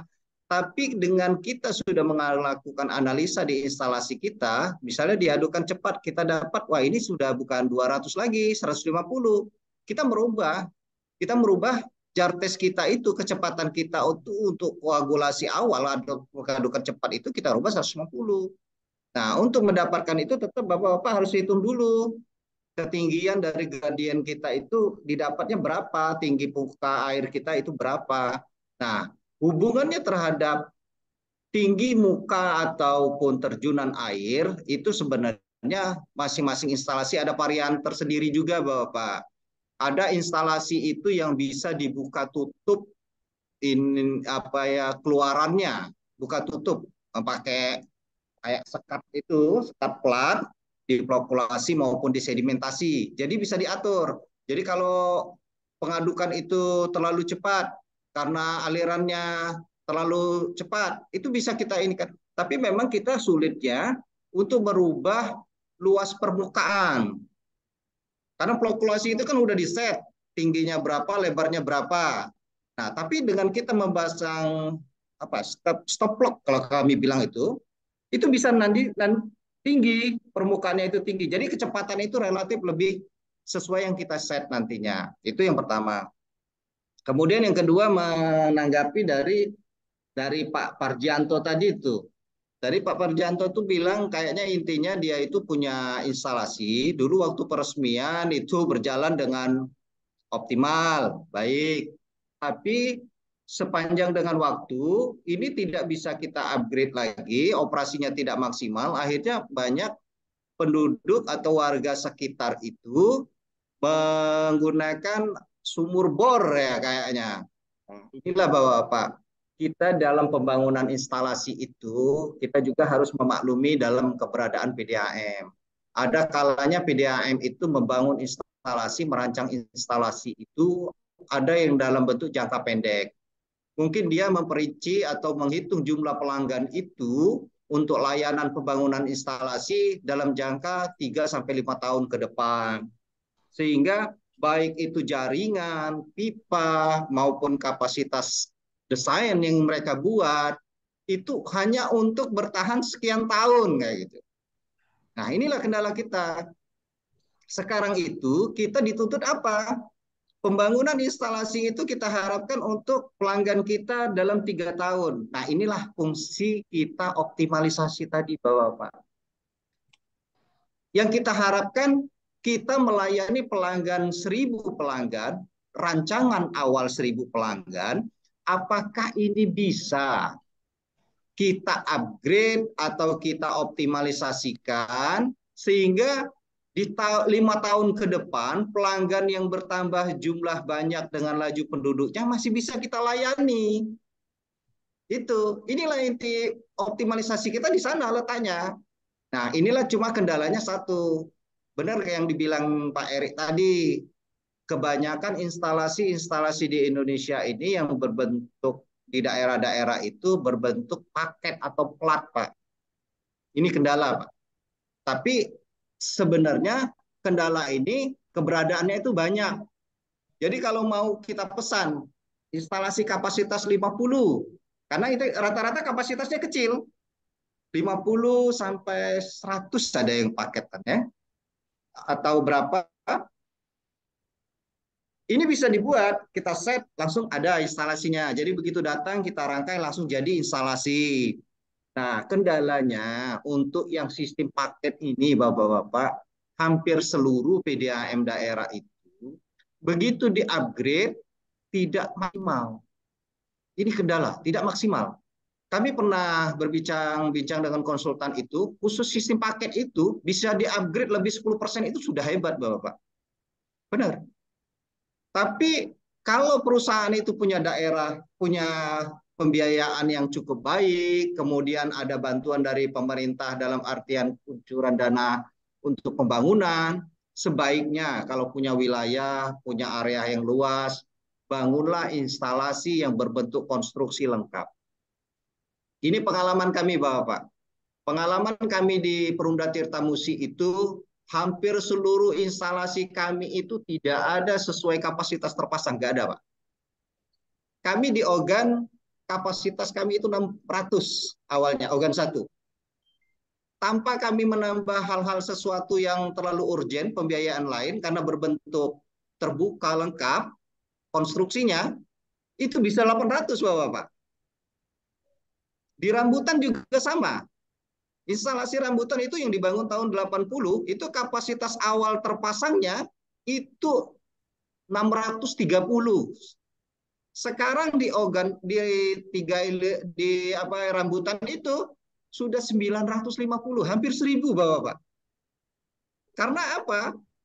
Pembangunan konstruksi itu luas atau tingginya media itu memang sudah dibuat space apabila ingin dilakukan penambahan. Ya, filter kami itu rata-rata idealnya itu terisi air untuk penyaringan tidak lebih dari satu meter. Tapi mengapa dinding filter itu dibuat dua meter setengah gitu? Ternyata para perancang-perancang ini ilmuwan-ilmuwan teman-teman kita yang terlebih dahulu itu sudah merancang ini sekian tahun nanti Palembang akan jadi ramai, penduduknya banyak. Jadi dari 720 menjadi 1000 bisa kayak gitu. Apa mengupgrade yang lain kayak gitu. Nah, jadi kami harapkan seperti itu juga kepada teman-teman yang mungkin ya yang punya daerah air bakunya banyak, kemudian juga dana yang cukup baik, kemudian tarif juga baik, sebaiknya bangunlah instalasi yang berbentuk terbuka full konstruksi. Jadi kalau mau upgrade enak Bapak-Bapak. Kalau plat paket susah Bapak. Nggak mungkin kita menjebol plat-plat yang sudah terbentuk itu nggak mungkin. Kita buka plat, ah, dibongkar nih kayak operasi ya gitu. Bongkar, bongkar, bongkar, pasangnya itu sulit. Sangat sulit yang terjadi jadinya. Ya, mungkin itu tambahan Baik, sedikit iya. Bapak-Bapak. Ya. ya. Ini kayaknya ada tambahan dari rekan Pak Ewan nih, Bu Nur Kumala nih. Biar ada Silakan Bu Nur. Iya, tadi Bapak-Bapak terus Terima kasih itu itu senior suara. saya itu Pak. Pak Wani itu senior saya, Pak. Ya. Pak Wani itu senior saya, Pak. Iya, ya, silakan, benar. Iya, Pak. Terima kasih. Pak Wani itu senior saya, Pak. Kedengeran, Pak? Iya. Ya, kedengeran sudah, Bu. Kenceng, Bu. Iya, mungkin uh, ini hanya menambahi Pak dari Pak Wani tadi mungkin sudah sangat jelas, tapi mungkin ada sedikit yang mau saya tambahkan untuk Pak Sakti ya. Pak Sakti dari PDM mana tadi ya? Sukabumi uh, ya. Ah, iya. Itu Pak uh, sejujurnya kami juga PDAM ini baru tahu mengenai masalah gradien kecepatan itu tahun 2008 itu Pak. Saya waktu itu belajar dengan Profesor Benny. Pak Profesor Benny itu berkata cuma satu kata bahwa dulu kami PDM kami itu JRPS-nya sama semua Pak, WTP itu. Semuanya sama.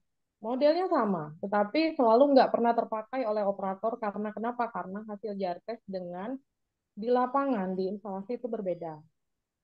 Akhirnya saya belajar dengan Profesor Benny waktu itu. Eh, saya pelajari itu karena diiringi dengan bukannya belajar kayak orang kuliah, karena belajarnya sambil-sambilan dan mencarinya sendiri. Akhirnya saya dapatlah eh, beberapa perhitungan-perhitungan itu saya aplikasikan pertama kali di instalasi rambutan. Tuh, jadi ternyata memang dari eh, WTP, jadi kita membuat formula JARTES itu dari WTP dulu, Pak.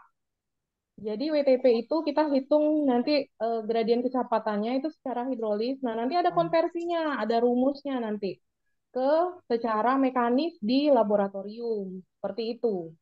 Nah, akhirnya itu kita utuh ukur dulu Pak. Jadi kita harus bekerja sama dengan bagian perencanaan untuk melihat gambar. Makanya Bapak-bapak di PDAM semua, gambar-gambar desain WTP itu jangan sampai hilang. Itu harus disimpan. Nanti pada saat mau Bapak lakukan operating untuk poligon yang baru-baru ya Pak ya. Sebenarnya poligon itu bisa kita operating, Pak. Bisa sampai waktu itu kami hitung, jadi kami bekerja sama, jadi di Tirta Musim benar kata Pak Wani, kita tidak menggunakan kontraktor, kita menggunakan SDM yang ada. Jadi SDM yang memang benar-benar ahli untuk menghitung itu akan dijadikan satu, Pak. Dijadikan satu untuk satu tim.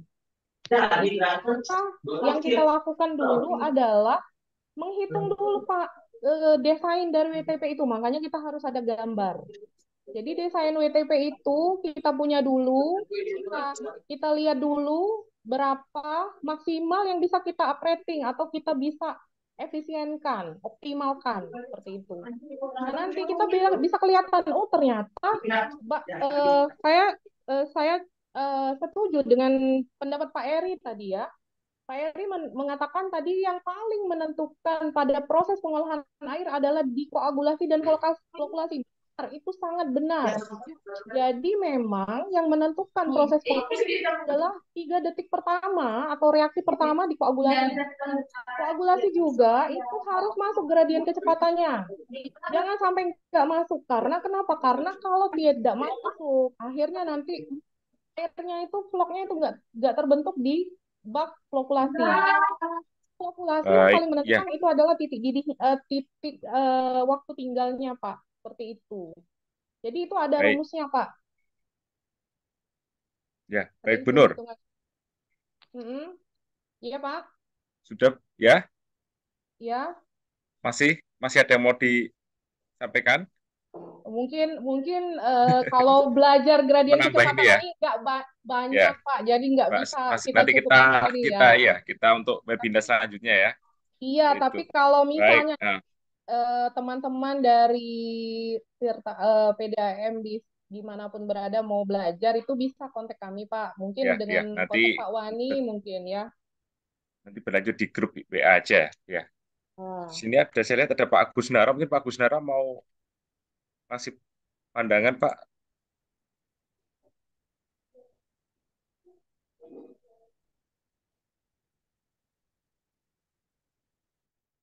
Ya, terima kasih. Uh, menarik ya, Bapak Ibu peserta webinar. Mohon maaf nih baru gabung, baru selesai dengan Kementerian Dalam Negeri. Jadi ya saya kira nanti dilanjutkan ada sesi mungkin uh, apa namanya untuk pembekalan teori praktek asesmen di daerah ya. Tapi saya kira dari peminatan ini Pak Danang nanti kita coba ya. jadwalkan di beberapa pengurus daerah untuk pelatihan ke level-level operator. Kalau sekarang kan banyak yeah. pelatihannya di level manajemen muda, media utama yeah. ya, ICG dan lain-lain. Tapi cooperation ya, baik itu kehilangan air, kita udah punya modulnya nih. Termasuk tadi yang disampaikan Ibu Pak Irwani itu menghitung apa namanya eh, gradien kecepatan, waktu detensi, uh, kan tipe-tipe pengaduk juga macam-macam tadi. Mungkin di awal sudah diberikan ada yang mekanis ada yang hidrolis. Hidrolis aliran naik turun. Ada yang seperti di termasuk di Palembang ada yang alirannya horizontal dengan baffle channel. Itu macam-macam. Jadi tentu tidak tidak serta merta bahwa oh ini gradien kecepatan begini ini RPM-nya ya kalau kita model pengadukannya baffle channel terbuka ya tidak ada itu RPM RPM gitu ya. Semua perhitungannya hidrolis gitu oke tapi itu jadi silakan nanti Pak Danang dijadwalkan di beberapa pengurus daerah eh, di sini kita bisa menjaring bahwa eh, pembekalan untuk level operator ini sudah lama sekali kurang tersentuh begitu ya nah yang kedua ya, ya Tadi saya ingin menambah, menanggapi pertanyaan soal pengelolaan. Yang saya tangkap sepintas ada beberapa aset tidak dikelola dan lain sebagainya. Kira-kira begitu ya. E, perlu ditegaskan, aset yang akan dioperasikan atau dikelola oleh PDAM itu harus ada kejelasan dulu serah terimanya.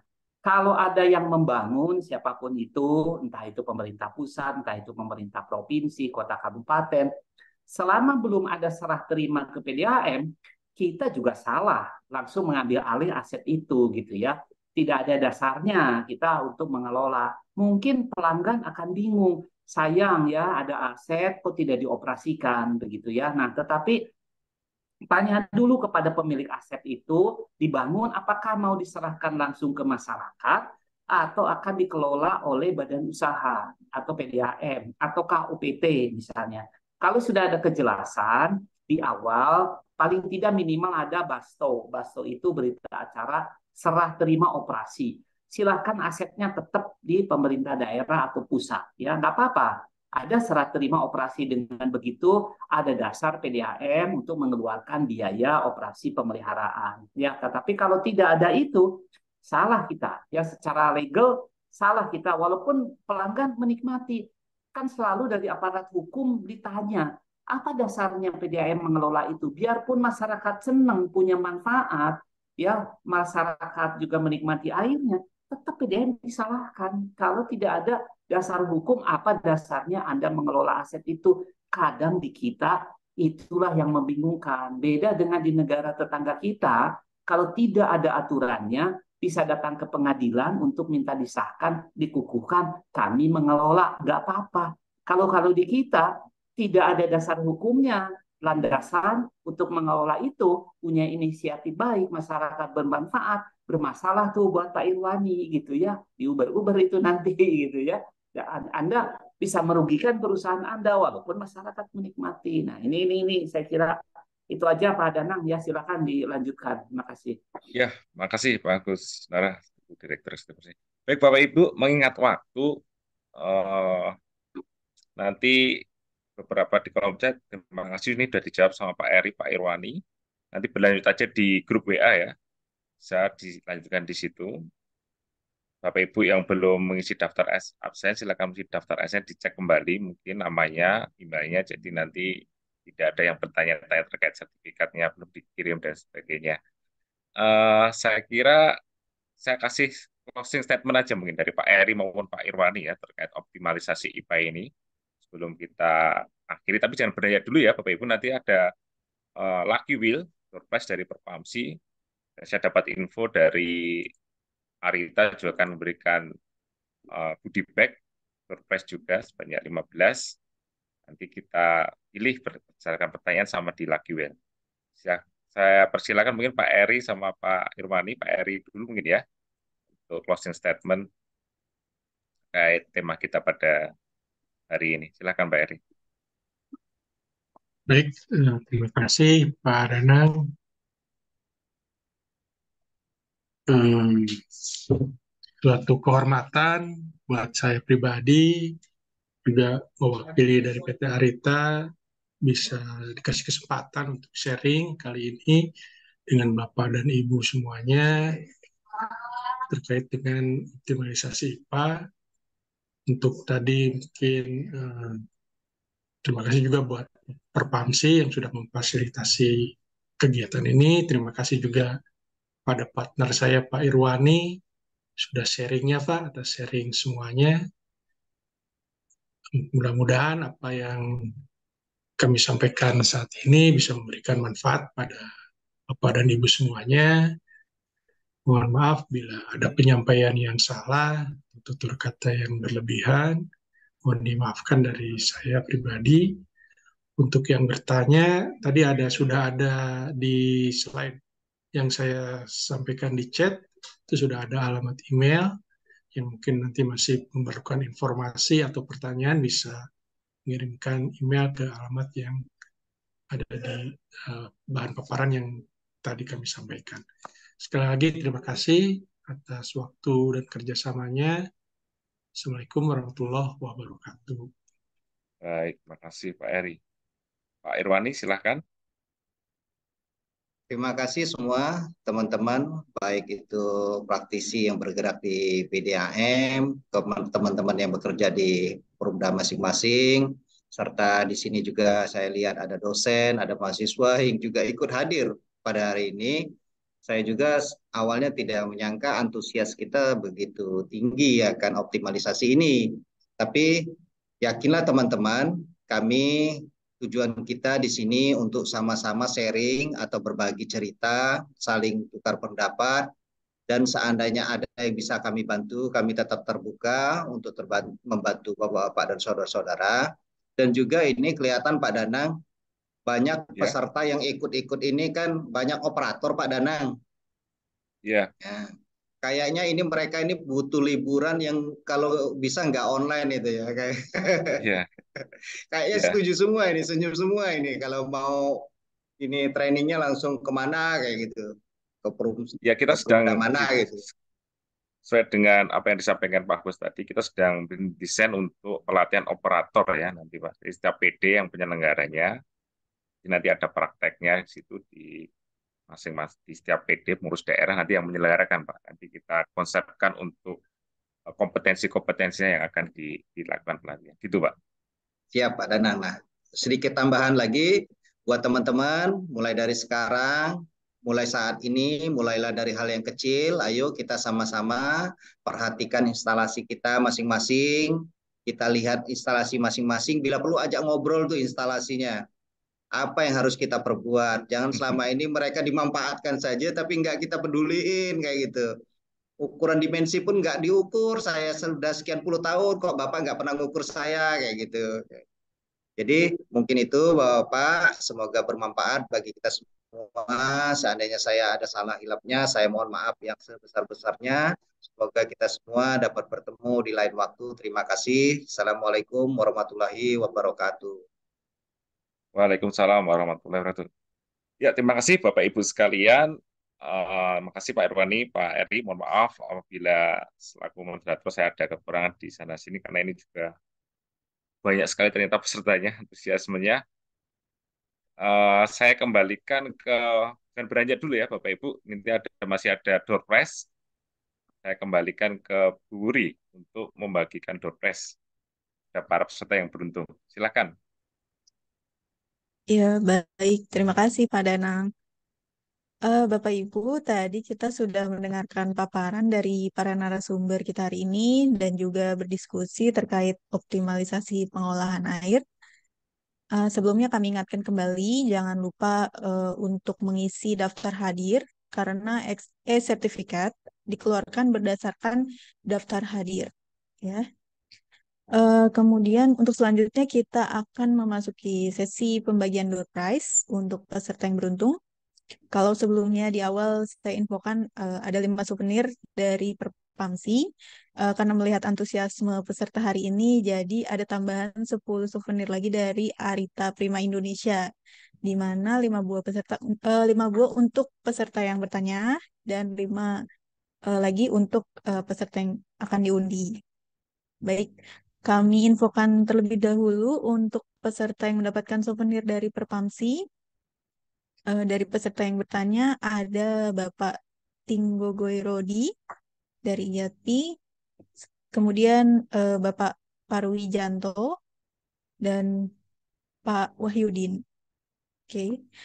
Uh, selanjutnya untuk pemenang yang uh, diundi, mohon dibantu Mas Rahman.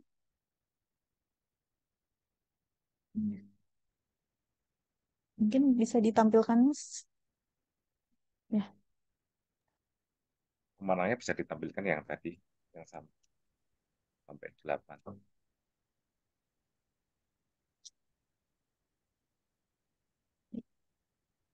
Mohon ditunggu ya Bapak Ibu.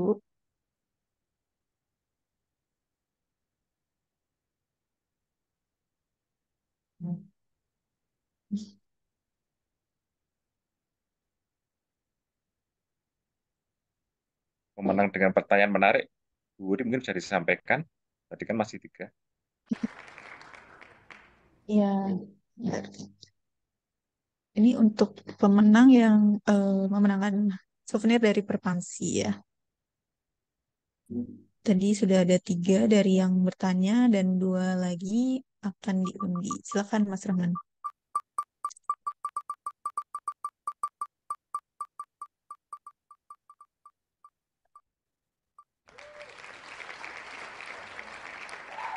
Oh, baik. Sudah ada dua nama ya. Ada selamat kepada Ibu Indri Pratiwi dan Bapak Rahmat Nur Reskiawan. Apakah ada di sini? Masih ada di sini? Baik. Oh, baik. Kalau begitu, uh, selanjutnya kami umumkan uh, untuk peserta yang beruntung yang mendapatkan souvenir dari Arita Prima Indonesia. Untuk peserta yang bertanya, ada Bapak Sakti Aditya, kemudian Bapak Abdurrahman Sukri, Bapak Lukman Septo Adi, Bapak Hendi Gunawan, dan Bapak Gilang, IPA 4 Maslini Sombala. Ya. Dan untuk lima orang pemenang lagi yang beruntung yang akan diundi, silakan Mas Rahman.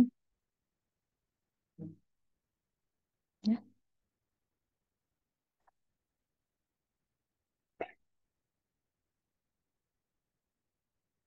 Apakah bisa ditampilkan, Mas Rahman?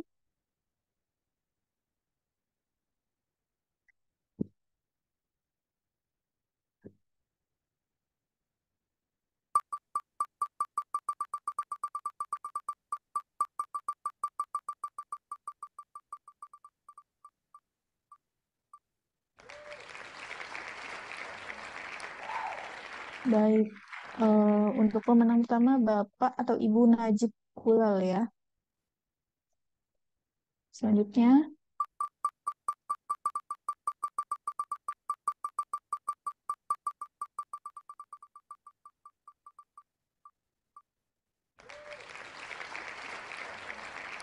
Ibu Nurtin Mayang.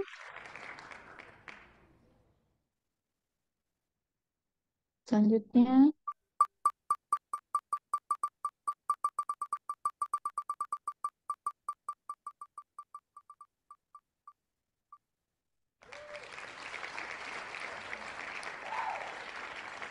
Bapak Rahmat Akbar Aditya.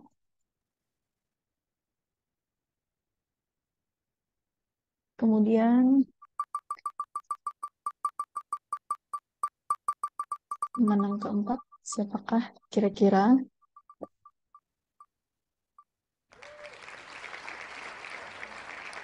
Bapak Elang Bayu Pangestu ya. Ya, satu pemenang lagi, silakan Bapak Ibu berdoa dalam hati.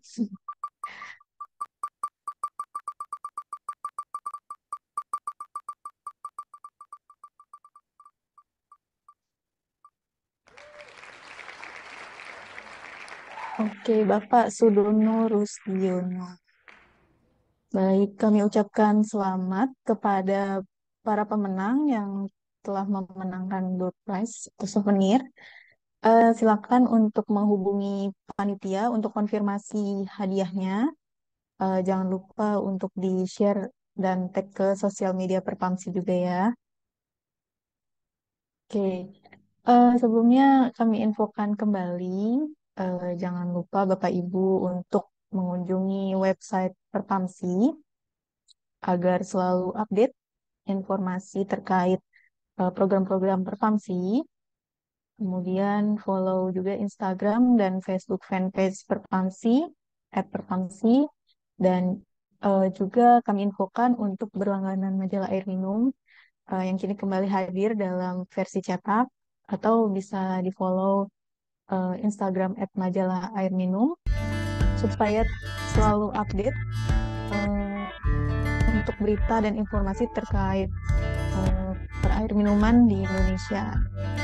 Kami infokan juga uh, mungkin salah satu program pelatihan yang akan dilaksanakan uh, yaitu pelatihan untuk supervisor dan instalatur uh, di bidang perpipaan. Ada juga beasiswa dari uh, antara Perpamsi dan Akadita ya. Juga Bapak Ibu jangan lupa untuk subscribe YouTube Perpamsi untuk bisa menonton kembali video webinar-webinar dari Perpamsi. Ya. Uh, baik, Demikian webinar pada hari ini. Segenap panitia mengucapkan terima kasih kepada para narasumber kita hari ini. Ada Bapak Irwani STMM dan Bapak Eri Sodewo, serta uh, Bapak dan Ibu peserta webinar hari ini. Mohon maaf atas segala kekurangan dalam penyelenggaraan webinar. Terima kasih dan sampai jumpa di webinar selanjutnya. Wassalamualaikum warahmatullahi wabarakatuh. Shalom, Om Swastiastu, Namo Buddhaya, Salam Kebajikan.